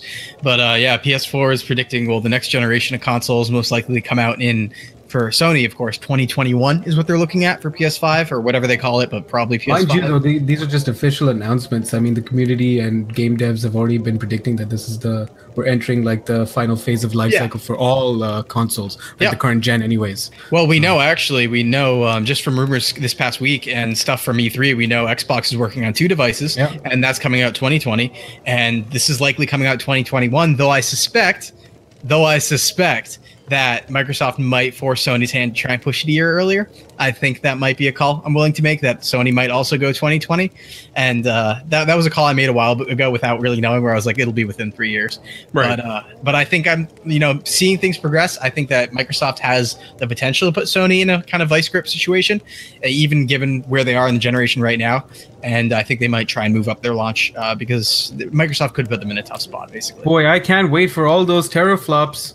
Those those teraflops Well, are you know they All get those me going. deep cuts too. Don't worry about them. The, the deepest of cuts. So hopefully, here's the good thing, right? So hopefully in the next generation, what happens? Because let's be real, the Xbox One X and you know to a lesser extent the PS4 Pro uh, talk about being able to do 4K, and we don't have anything beyond that at this point. So what Phil Spencer said for the next Xbox was they're going to be focusing on CPU because while graphics cards have been pushing ahead in consoles, you know, full force, the CPUs are severely lacking, and of course what that allows for is a lot of different types types of uh, gameplay simultaneously, a lot of different NPCs on screen at a time. So my hope is that they kind of go more in on the CPU side of things next gen, keep the video cards around where they need to be right now, where they are with the PS4 Pro, if not like a little tiny bit higher. But like, let's go on CPU. You know, let's get that like 10,000 NPCs on screen at a time going. Like, Oh, and then we can stuff. finally see Destiny 3 in 60 FPS. Finally.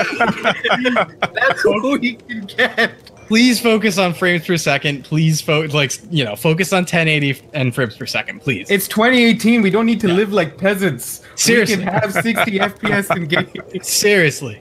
It's amazing. Uh, completely sidebar right here. Nintendo Switch, Yeah. Hyrule Warriors. Yeah. On Wii U, uh, either 26 or 30 FPS. Mm-hmm. Didn't think I noticed it that much. Nope. Came out on the Switch, 60 FPS. Mm-hmm. Huge difference. Yeah, Nintendo does it.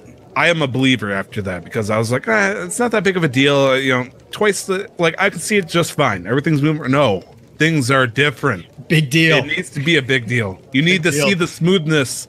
It's not uh, unless like my brain is intoxicated, which often it is. Yep. I, I can notice this now. Like if things like, oh man, this seems kind of choppy. It's like you gotta try harder. Mm-hmm. I, I like. What would you sacrifice more, graphic quality or frame rates? Graphic Oh, quality. Always graphic quality. And that's among 100%. people who play games a ton. I feel like it's the far majority opinion. So beautiful game at 30 FPS is not nearly as enjoyable as a decent looking game at 60. Yeah. To a large extent, yes, but it also depends on the genre, and I know we're going to go into this in a bit. But like specifically for shooters, you need high frame rate. Yeah, you Because definitely you do. need to be precise. Um, be it like okay, maybe PVE shooters not so much, but PvP shooters, yes. Uh, PVE shooters, you would need to be precise if it's like more down to speedrunning, right? Because then you'd want to make sure that you're getting and clipping through everything and getting in, you know, whatever positions as fast as you can. But for PvP games, you need the high frame rate. Yep. And uh, speaking of actually Microsoft's plans for next gen, they're making those two systems, right? The Streambox and the traditional console. That's another thing for competitive games is the Streambox latency issues, which they're attempting to fix, but you're never going to fix it to a point where it's not gonna where it's not going to hinder the game.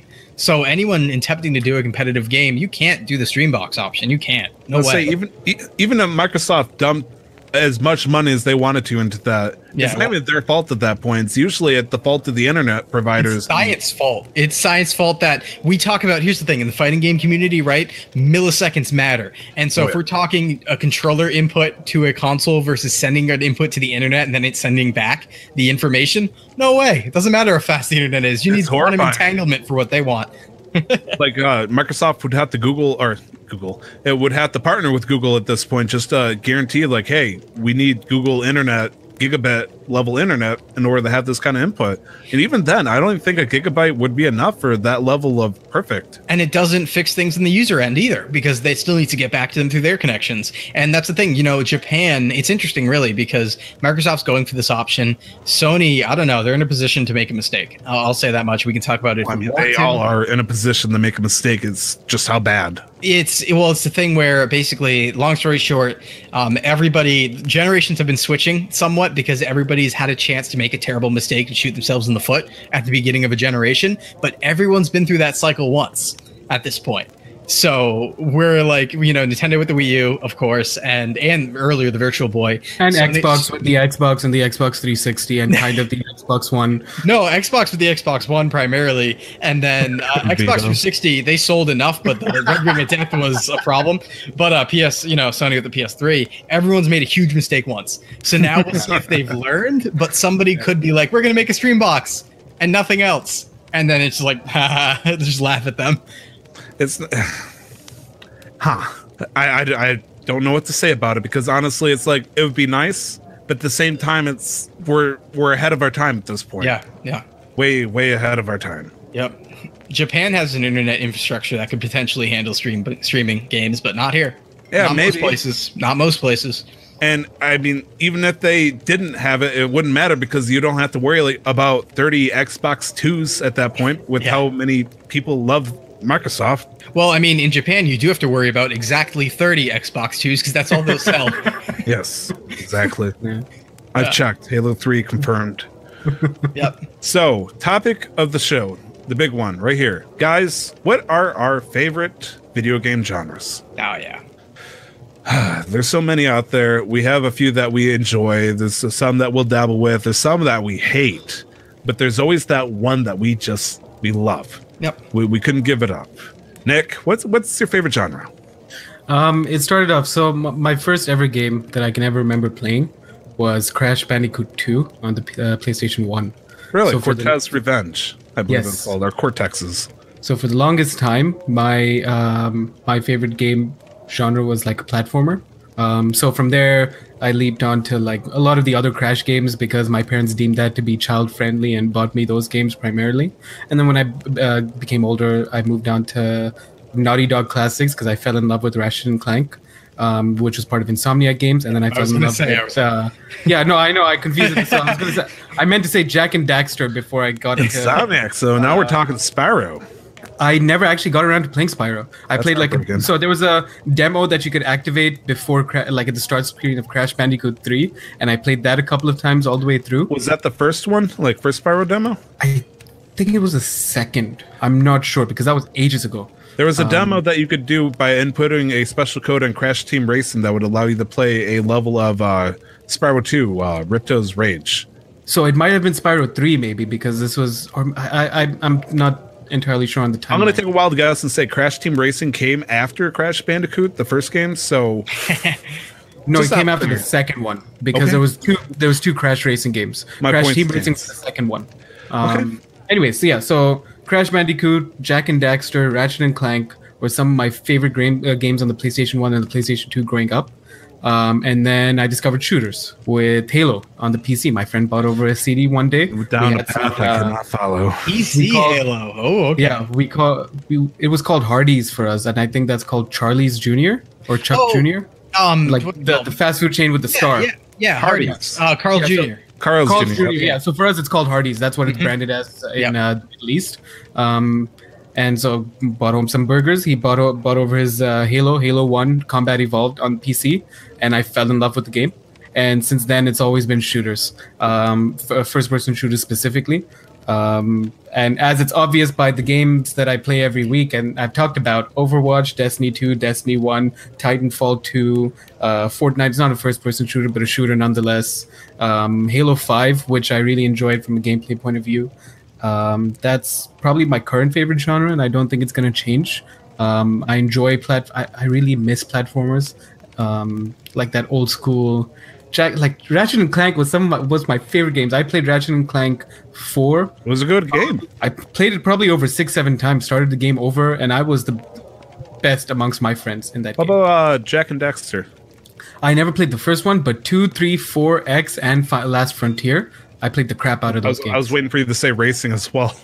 oh right, yeah, no, Jak X, yeah, that's uh, the racing one. Oh, okay. My bad. Yeah, my bad. My bad. Yeah, I played the crap out of that one too. So I, I enjoy a few uh, racing games every now and then, but first-person shooters is my go-to. The one genre I hate, and I've talked about this vehemently on a show before, are MOBAs.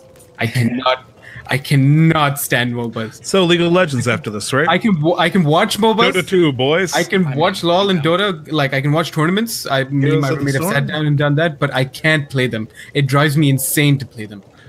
I okay. I mean, I understand that because uh, it has a high skill ceiling, so I wouldn't want to hurt your pretty little heart trying to play It's a not even like about that. it's not about the skill ceiling. It's not about like the mechanics, the numbers. It's just I just can't stand like the gameplay of it. Like it just doesn't appeal to me. Oh, trust me, I hate creeper score like a son of a gun. Like it drives me wild that my main focus is I got to kill these little minions for 20 minutes straight so I can get cool stuff and finally something. again, it's not even about. See, I can't explain. it. It's not even about that. Like I understand that to like whatever specific MOBA it is, but it's just MOBAs themselves as a whole. Like it just it just puts me off. I wonder, uh, like backtracking a little bit, a real time strategy, Warcraft 3, if you'd be okay with something like that. I never played Warcraft 3. I used to play a lot of Age of Empires 2. I used to put I put a lot of but never online. I like playing against the AI because me too. I'm scared I'm scared to play against other people. I'm not good enough for that. So I'd go into like Age of Empires 2 specifically, uh, hit enter, turn on the, you know, put in all the cheats to get as much wood, meat, gold as I wanted, get Yeah. like the Where's get- my car? Where's my car? car, Where's- yeah, and they the- have four the- cobras laser- driving around with laser- machine guns. laser beam uh, bear. Uh, it was great. Yeah.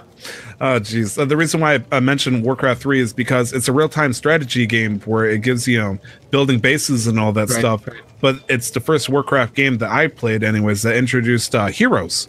You could, you know, focus on heroes. Right, right. Um, Which obviously- was- what was it called? Age of Mythology. uh, that followed a similar thing. That yeah, is Age of Mythology one, yes. like heroes. Yeah, yeah, yeah. Yep. Oh man, I haven't thought about that game in a while. So that uh your favorite genre is shooters. Your least favorite would be mobile style games. Yeah. What about you, Cam? What what's your favorite right. genre? Anyone want Here to we take go. it? Yes. Buckle in, boys. Uh It's not that difficult. horror games. Horror Oh games. yeah, oh yeah, no. So of course my favorite genre is RPGs as a whole, and that's actually so the inspiration for it, uh, much like it was the inspiration for you when what you started playing. For me, so I grew up. Uh, so a little backstory, but uh, I'm a bastard child. Fun enough. So I had both my parents never married, so two separate households. So as a kid, I was traveling a lot. Wait, wait, wait, wait, wait, wait, wait. Yep. So because you're in the states, what would that make you? That would that would make you a sand or a snow. What would that make you? A sand or a snow? I'm like, Okay. Do you smell toast, Nick? Can You guys don't get the You reference. okay? You guys don't get the Game of Thrones reference. Oh no, that's not anime, Oh, dude. I can't oh, help you. geez. You know that. oh, what's it called? That's Western anime. uh yeah so so the joke being basically or not not the joke but basically in Can't effect i was traveling a lot so i had a predisposition to handheld. So that's one thing right is i always had to be a hand, handheld player because i was always on the move going between houses going places. And rpgs were the pick for me one because it was some of the first games i played. First game i ever played was like duck hunt mario on the nes but after that pokemon blue. And the nice thing about rpgs at the time compared to other games was you could save much more frequently in game boy rpgs because of the you know the internal batteries. So The tiniest when- amount of progress, and you can still Yeah. save and keep it. So when i, I was on the completely move forgot to talk about my Game Boy Advance and Pokemon. Yeah, Emerald. yeah. yeah. So Okay, so that was the thing thing was- with my childhood too. Yeah, Carry when, when I'm on the move. So if I was playing a Mario game and I was in the middle of a level, and I don't have any recourse. I have to lose that progress, and I hate losing progress more than anything else. Mm. I hate it. So RPGs were the natural fit because I could, you know, play them a little bit, like Dawn of Souls on Game Boy Advance, Final Fantasy One and Two. You play a little bit, you save. Pokemon, you play a little bit, you save. So anything that allowed me to save at any point was what I was drawn towards. But eventually, it just became a like for, or I should say, my gaming sense developed as a sit and think kind of gamer, where rather than you know intense action, I like having the opportunity to, to explore strategy. I like being able to sit there, which is why I hate the ATB systems in later Final Fantasies because I like being like, okay, turn-based game. What are my options? What's the most effective option? I want to think about that game, and I want to also experience a story. Um, so I do like other things that have stories as well. But uh, yeah, RPGs for me is most favorite. Least favorite might be might be. It's hard because I don't hate any genre outright. Uh, definitely. Well, you won't play a horror game, as last I checked. Right. So I won't play them. That doesn't mean I hate them. I won't play them because I'm terrified of them. least favorite though. But I also, it's respect like them. the horror is more the theme rather than like the kind of game. like Yeah. the game mechanics, right? Yeah, like I yeah. want to play exactly. like Dead Exactly. Space is like I would play it if the horror themes weren't there. right, and so I can deal with some horror too, as long as you it's just not explore jump scare. space station just for fun. Yeah, as The- long the as it's not walls jump accent, scare, I'm like- good. He, he keeps commenting about how well the air conditioning is working, fully functioning. Yeah, but uh, yeah, as long as no jump scares, I'm good with that. So maybe, so, pr- so certain puzzle games are my least favorite, and maybe certain pure platformers, because uh, puzzle games, I just I'm bad with spatial stuff. I really am. It's ironic because I'm a geographer, but I'm really bad with like, uh, this goes here, this goes here. So puzzle games, I'm just not good at. And so I just hated playing them always, uh, but I do respect them, and I like I like certain things that are light on it. So like, if you ever see like indie puzzle platformer, I will generally never play those games ever. Like no, I will avoid at all costs. Uh, the other thing, Mooney Pop Girls uh, wouldn't be your thing. no, see, I got better options if I want to do you know hentai. Let's you got plenty options. I got I got VNs, man. But uh, yeah, other one probably pure platformers that are just about difficulty. Uh, I, I don't I'm not reaction time. I don't have the reaction time often to deal with those. So mostly for lack of skill on my part is why I dislike things. Um, there's no genre I incredibly hate. I, I do get around to things, but yeah, mostly for lack of skill. But yeah, that's me. This conversations make me like remember all the other games. So like I completely forgot to mention the amount of time I put into Pokemon, um, like across a Game Boy Advance and then the Nintendo DS Lite, which my sister broke because I was sitting on the couch and she threw a remote at me, aiming for my head, but it hit my DS screen and cracked the LCD screen. Oh, No, you you you get rid of your sister. how are you still alive? Why aren't you in prison? Yeah, why isn't she in prison? And my mom was sitting right there too. her. My mom was sitting right there as my sister threw a remote at me, aiming for my head, but it hit my Nintendo DS. and my mom and I were just kind of like, "What? What? Why? why would you do that?" Yeah. And then uh, it was good because my mom felt bad enough, and she bought me the 3DS. Oh, Uh, and okay, I had the foresight. Yeah, I had the foresight to get. So I grew up in the Middle East, and all of our game systems are PAL there. Yes, right? Not yeah. NTSC. So I had the foresight to buy an NTSC 3DS, so that when I came over here, I would be able to like play games uh, normally. Because I, Right, go the- Right. it was around the time when I was planning to come over to Canada. So Um, you also then, if if everything was in PAL, then you also had the 50 hertz TVs for um, that sort I of thing. guess, because your plugs hertz. are different. Yeah. if- Yeah, well, the yeah, thing- yeah. 60 versus 50, so your frame rates were a little bit different than ours, basically. Yeah, um, Yeah. like so I have my PS2 sitting here, and I have to buy. I actually have to buy a transformer to be able to get that to work because the input voltage requirement is 110, not 220, which is the Yeah. standard from uh, um, in North America. Yeah. Um, and I also forgot about the Prince of Persia games. The original, Yeah, not, yeah. not like the um, 8-bit uh, Prince of Persia games, not the MS DOS games. The you know uh, Sands of Time, Warrior Within, and Two Thrones. Those were some of my favorite games ever. So actually, good question. In terms of console releases, uh, being from the Middle East, did you get things a little bit later in terms of like releases? Did things come a couple years after, or right on time? I actually have no idea. Okay. Um, not at least until towards the um, you know uh, as I was like late in, towards my late teens. I never Yeah. paid much attention to it when I was younger. I know like a lot of the Nintendo systems weren't the norm. It was mostly PlayStation. Mm-hmm. Yeah. Um, so that's part of why I never had the Nintendo experience uh, per Right. se. Right. Um, the handhelds were pretty popular. That's why we got a lot of the Game Boys. Mm-hmm. Um, but uh, so as things went, as things uh, progressed and developed, we started getting things just about roughly the same time. Yep. Right. Well, I guess we covered everybody, so let's uh, let's go down over out of this one. Tyler, how about you, Bud? What do you you- like? Favorite genres? What do you like? So, when I was a child, I was in the same boat as Cam. I really liked my RPGs. Uh, You know, had plenty of time. Spend had you know spend a had, had a. I love how I keep saying spin and head at the same time. Yeah, spin it's good. ahead. It's good. I spent ahead a good time with them. But I realized as I grew, it would probably be around high school. In fact, I'm not even sure if I told the story before, but I'm going to do it real quick. I've I played a horror game, Resident Evil, the first one for the PlayStation, one time at a friend's house just for funs and giggles. And I couldn't understand the tank controls. And the first time you encounter a zombie, I didn't know what to do. He came, bit me, and I was so terrified that I mashed the open of the PlayStation instead of the power and just left the spin, you know, it like bit at me and but then game was frozen, so I had to sit there with that imprinted on my memory and that scarred me for a very long time with horror games. I uh, I'm a big scaredy cat. However, I to this day I Same. realize when it comes to video games, I don't feel emotion all that much when it comes to like uh progress. I get excited when it comes to like uh percentage chances and I win that percentage chance like uh percent you know a legendary loot drop or something like that and when numbers go up I get satis- a feeling of smug satisfaction and then excitement when I you know realized I hit the jackpot there was a chance I couldn't get it but fate shined on me Respect. However, that happens far in and in between when it comes to RPGs because it's like, oh, I got a level, cool. But then, you know, the fleeting moment's gone. But there is one genre that instills a particular emotion in me every single time that I have it, you know, let it happen. And that is horror games and fear. I it's surprising how well a horror game can terrify me almost instantly just by atmosphere alone.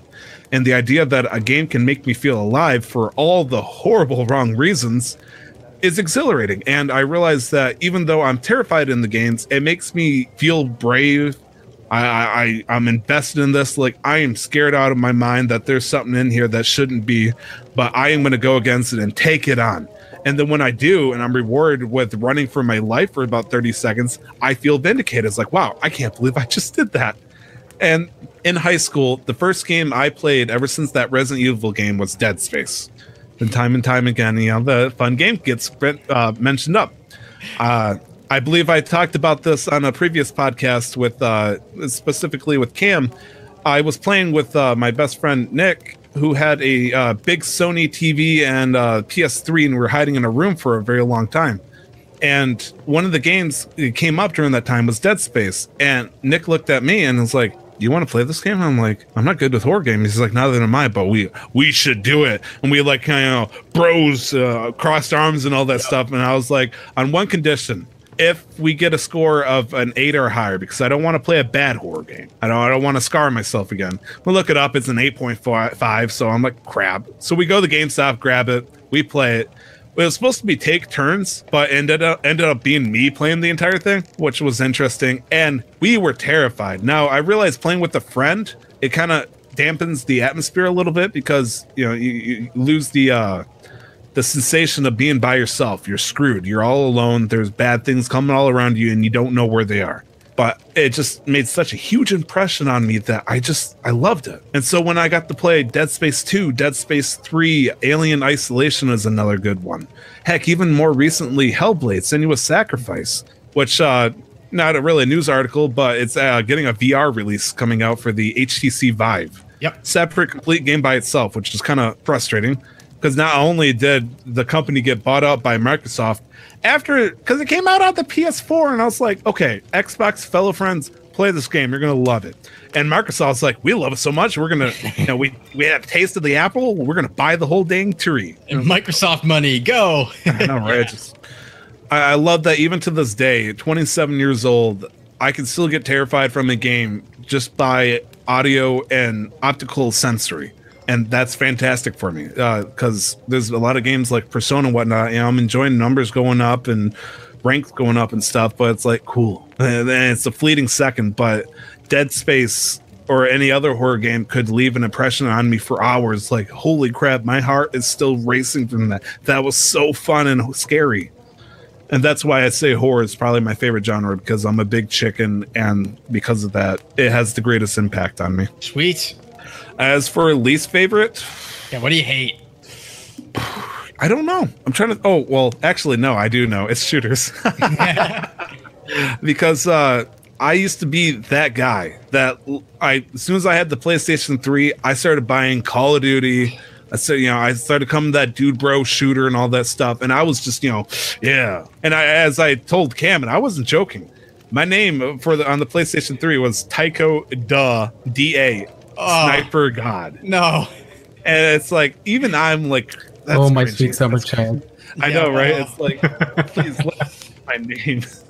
But I, I, love having the Barrett 50 cal in the original Call of Duty 4 uh, Modern Warfare, and that was my thing. And I think it was Modern Warfare 2 that happened. I was in uh, college at that point. I was playing it like crazy. I had my roommate play a little bit with me on the co-op missions, and all of a sudden the disc reader just took a huge dump. I'm like, oh, it's gone. It's dead. Okay. I can't play any more disc-based games anymore. This is very, very sad. And suddenly the only thing I had left was my GameCube. And so suddenly Nintendo made a huge return in my life because I couldn't afford to replace my PS3 uh, disc reader and as I'm sure you can guess, the only uh, shooter that I was aware of on the GameCube was Metroid Prime. And uh, you know, I appreciate that game as a shooter, but I didn't get back into uh, you know the chances of playing shooters until Halo. But even then, I didn't like playing uh, a shooter all that much because it was a fun skill to have, or it felt like I had to be skilled. But there was always that one other person across the map. It always felt like he was smoking a cigar and he was having moderate uh, sexual content with my mother every single time. and it was very frustrating. And it's like, this is not the type of people I want to be associated with. And that alone started pushing me away from shooters. Just like, oh man, I don't want to be a dude, bro, a guy. You know, I'm cool. Look at me. I got. Oh, whoops, sorry. That's real cool. I have. Yeah, I'm, I'm so cool that I I boom my mic like crazy with beautiful, like a nice, beautiful, glorious beard, thick uh, black glasses, and a nice wavy hair. And you know, maybe my favorite game is Destiny 2. Can't forget the fedora. Oh, and the fedora. Ugh. I never seen the other fedora, Nik. Anyways, never will. Oh yeah. so yeah, shooters not for me. Mm-hmm, mm-hmm. I, I, mean, yeah. I'll play it if it's fun with friends, but by myself, it's something I was happy to give up uh, back in high school. Yeah. So how, funny enough, how I got into shooters, I never had like any. So uh, I went from the PS2 to the Xbox 360, but I never had like Xbox Live until I came to Canada. Huh. Like I never had Xbox Live growing up, so I never played online until I came to Canada and I had Halo 4, and that's when I put a lot of time into Halo 4 PvP. And that's when I really got invested. Not into like shooters specifically, but competitive play. So Mm-hmm. I remember very clearly going into the SWAT playlist that Halo had, where it's uh, you just get the rifle. It was called the DMR or the pistol, um, the the Magnum, which was the most overpowered pistol in the entire existence of all games. Oh yeah, the Um, plasma pistol plus uh, regular pistol. You no, no, just it. the regular pistol, like the starting pistol. It's the most overpowered game in all Destiny, like all Halo games, without a doubt, because uh, you can uh, quite easily take down somebody's shields and then shoot them in the head. But the SWAT game mode didn't have um, shields, so all you had to do was aim at the head, one shot, and it was a kill. Um, and so that's where I really got my competitive spirit, where I was like, "Yes, I shot that guy in the head first before he shot me in the head." I wasn't good with snipers, mind you, but I was good with the rifles. I shot that guy in the head before he shot me in the head. I win. I'm better. Let's find the next person. And I and I wish I could record all of that now because I went on crazy like 15, 20 kill montage, like sprees, just like slaughtering everybody. I'm like, Yeah. This is what it's like to be good at something and then i came to destiny where everybody was better than me i'm like okay i'm not that great um, i'll just sit here with my friends A right upside uh, note to uh, what you said there about recording yourself. Did you guys ever record yourselves when you were a kid? no Oh boy. Okay. Um. Okay, there- so Cam had a like a oh boy, this is to be a stage of my life. Go ahead. No. Uh, so there's a secret. There's a secret that I, I tout around in the uh, other podcast too, where there are videos. There are some videos, not of me, but of me and my friends, like vocally playing games. Like there's some early proto Let's Plays, pseudo Let's Plays, I'd say, but they're YouTube one-offs for specific games, and they're still around on YouTube. Uh, and they were. I still actually, I still think they're okay. I still think some of the jokes hold up. I'm like, yeah, I'm down. But it was from God. I was in. No, it wasn't too too long ago either. I was like 10th grade at the time, so it was you know like 2009, 2010. Um, but yeah, other than that, I recorded myself, but nothing uploaded online. No video game recording myself um, prior to that. So get this, back in uh, the early '90s, I think even before YouTube became a thing.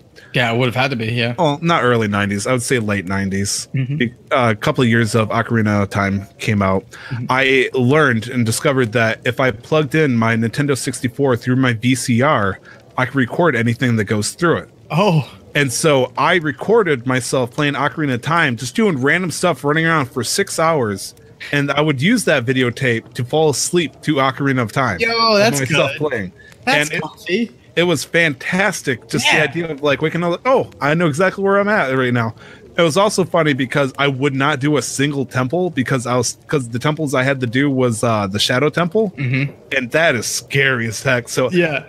there's like a 30 second clip of me walking in and then immediately teleporting out I wouldn't do it. That's good. But uh, I guess the most notable thing is uh, before uh, Let's Playing days, I recorded myself using the GameCube the entire playthrough of uh, Paper Mario: at The Thousand Year Door. Oh, nice.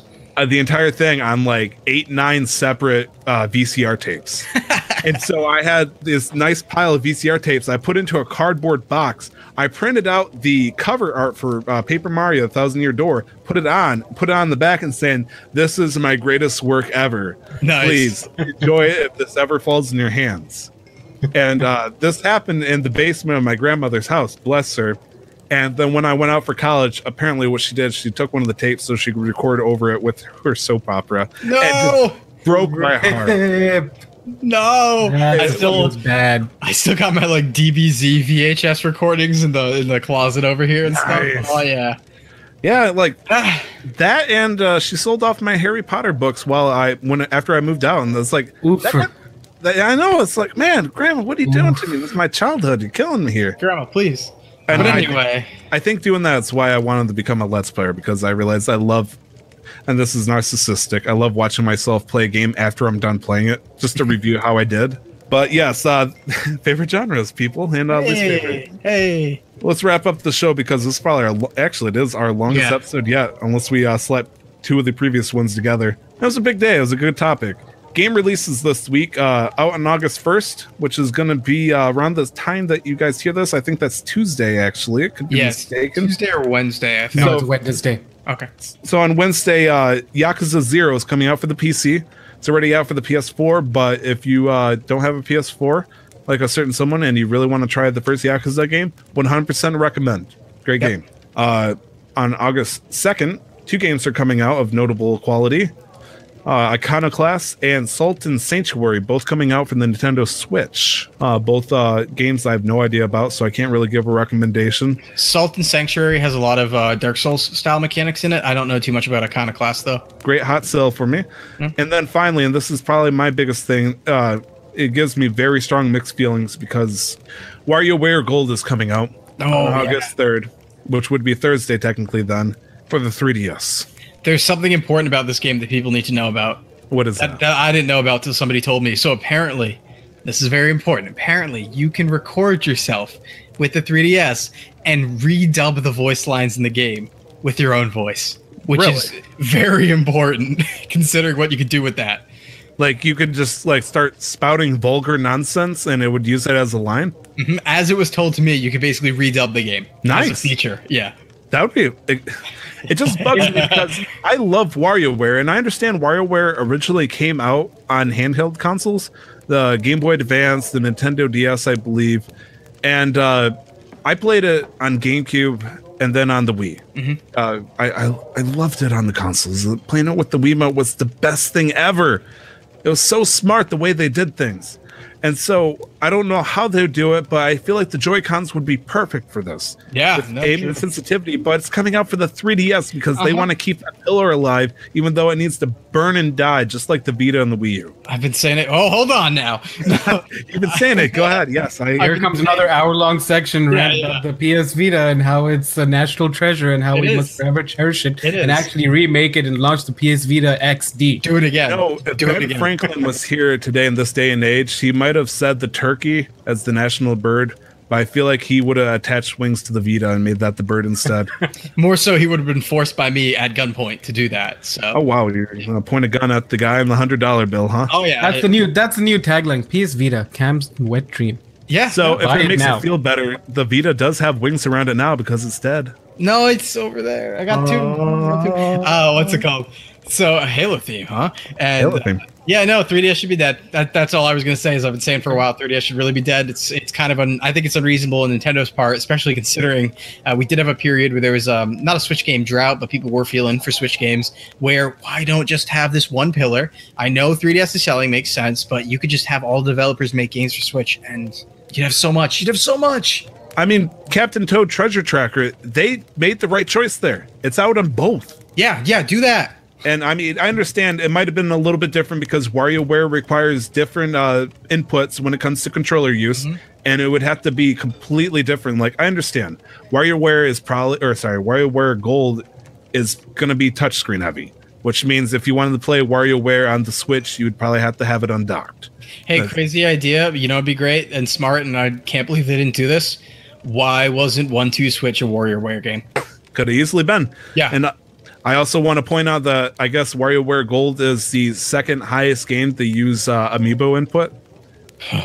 so you can The use a lot. the only the only thing before we go off on another huge rant or sidetrack. I'd rather not either. Don't. Yeah, but the only thing I can Yeah, think of that would make no, sense is purely because of the price point of the systems. The the 3DS or the 2DS XL is considerably cheaper than the Switch, so it makes more sense. Not more sense, but it it, it can easily reach more people.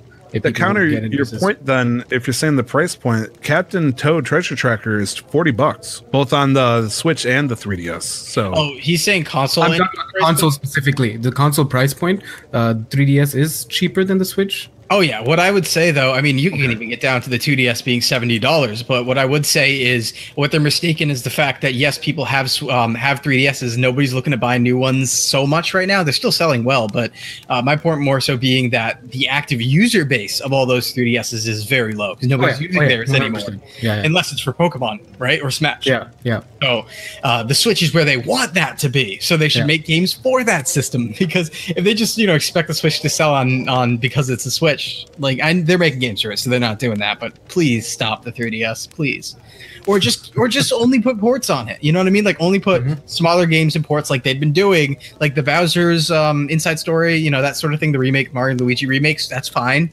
But yeah, don't WarioWare, don't.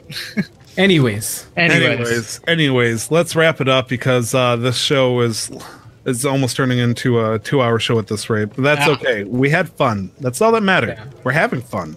Yeah. You, I'm you, suffering. you're Yeah, it's like playing a Vita. Well, you're gonna You- suffer every week, Cam. Ah, No choice. I'm gonna die. You can I email us Fortnite after this. at casualmasterquest at gmail.com or hit us up on Twitter at masterquestpod. All the podcasts and gaming can be found on our YouTube channel, as well as Cam and Nik's channels, which we'll be mentioning very soon. And we'll link uh, the main show on Twitter as often as we can. Uh, I myself as Tyler. My name's Tyler Vittitow. You can find me on Twitter at two times Tyler. Also, check me out. I was on the Delvin Cox Experience, which is a apparently top dog uh, podcast, like out on iTunes. I believe it was like number five for uh, entertaining podcast. It, it- it was huge up there. Were you And on he- last week recently, or? I was on uh, about five weeks ago, oh, okay, yeah, that and one. he, he held on to my show like like he was afraid to release it, like I was going to spit fire. And on the show, I, I talk a little bit about PSVG. I talk about how I uh, came to be with Casual Master Quest, gave us a, quite a bit of shilling. Then I talked about our uh, wedding and honeymoon, about all the fun stuff detailed with that. Also, uh, just shilling one last time since I'm actually sober this at this point because exactly one week ago I had no idea what was going on. yeah. Almost exactly. I uh, made a team with uh, Kevin Austin over at PSVG. We made a cool little special called "The History of Nintendo." Talks about, uh, yeah, as the title says, the history of one. Nintendo. Episode one, because there is so much more. We we start as far back as 1889, and we go even further back, mentioning about bans of playing cards in Japan, because apparently gambling is bad, and you, you? Yakuza love doing bad things. Yeah, I was gonna say you wouldn't you wouldn't know it looking at pachinko machines, but Yeah, no kidding. Nik, where can we find you? You can find me on Twitter at LRWarrior11. Also on my Twitch at twitch.tv forward slash LRWarrior11. Nice. Cam? you can find me on Twitter at Cam Collects, on Twitch on twitch.tv slash Cam Collects. Uh, my schedule's on there. I'm not gonna be long winded. Look at that. You can also check out my other podcast, intothevideogame.com. All right, fair enough. Uh, for some reason, I have it typed in here. I have no idea if this is going to happen, and if it doesn't, I'll just edit this out. But potentially, we'll be doing a side quest interviewing Cam. Yeah, so this is weird. So let's let's clarify. This is actually good for the end here. So what happened was we were talking. You were drunk last week. Yes. And uh, after the Uh, episode, let's we were back up even talking. further. During the last quiz, I had a very small amount of Everclear in a container, during which I started sipping in the half, half last half of the show, which eventually caused me to go from completely sober to flat out drunk and afraid to admit it. And it just went downhill so quickly. I'm, I'm so sorry. Yeah. So Tyler then comes to me afterwards, and he said he Like, wanted to arm the shoulder. interview me. Hey, man, can I Yeah. And I have no idea what that means. I just reminded him because he's like, "What are we doing this week?" I'm like, "You said while drunk you were going to interview me." So I don't know. hang out with this. I don't know what that is. It doesn't have to be anything. I just that's the story. All right, we'll we'll see what happens. Yeah, I don't know, uh, man. Ladies and gentlemen, that was episode number 12. Thank you for listening. Uh you know, you can go anywhere you want, but you can't stay here in the guild hall. I'm sorry, you might have to leave soon. Uh enjoy your last moments in the uh not in the fire, but near the fire. I mean in the fire if that's your thing. If you're- That's your thing, you know, with 2018, we don't king shame. Yeah. well, Yep. Anyways, don't forget, enjoy yourselves and to never stop the grind. See you guys later. Bye bye. Love you. Love you. Love you.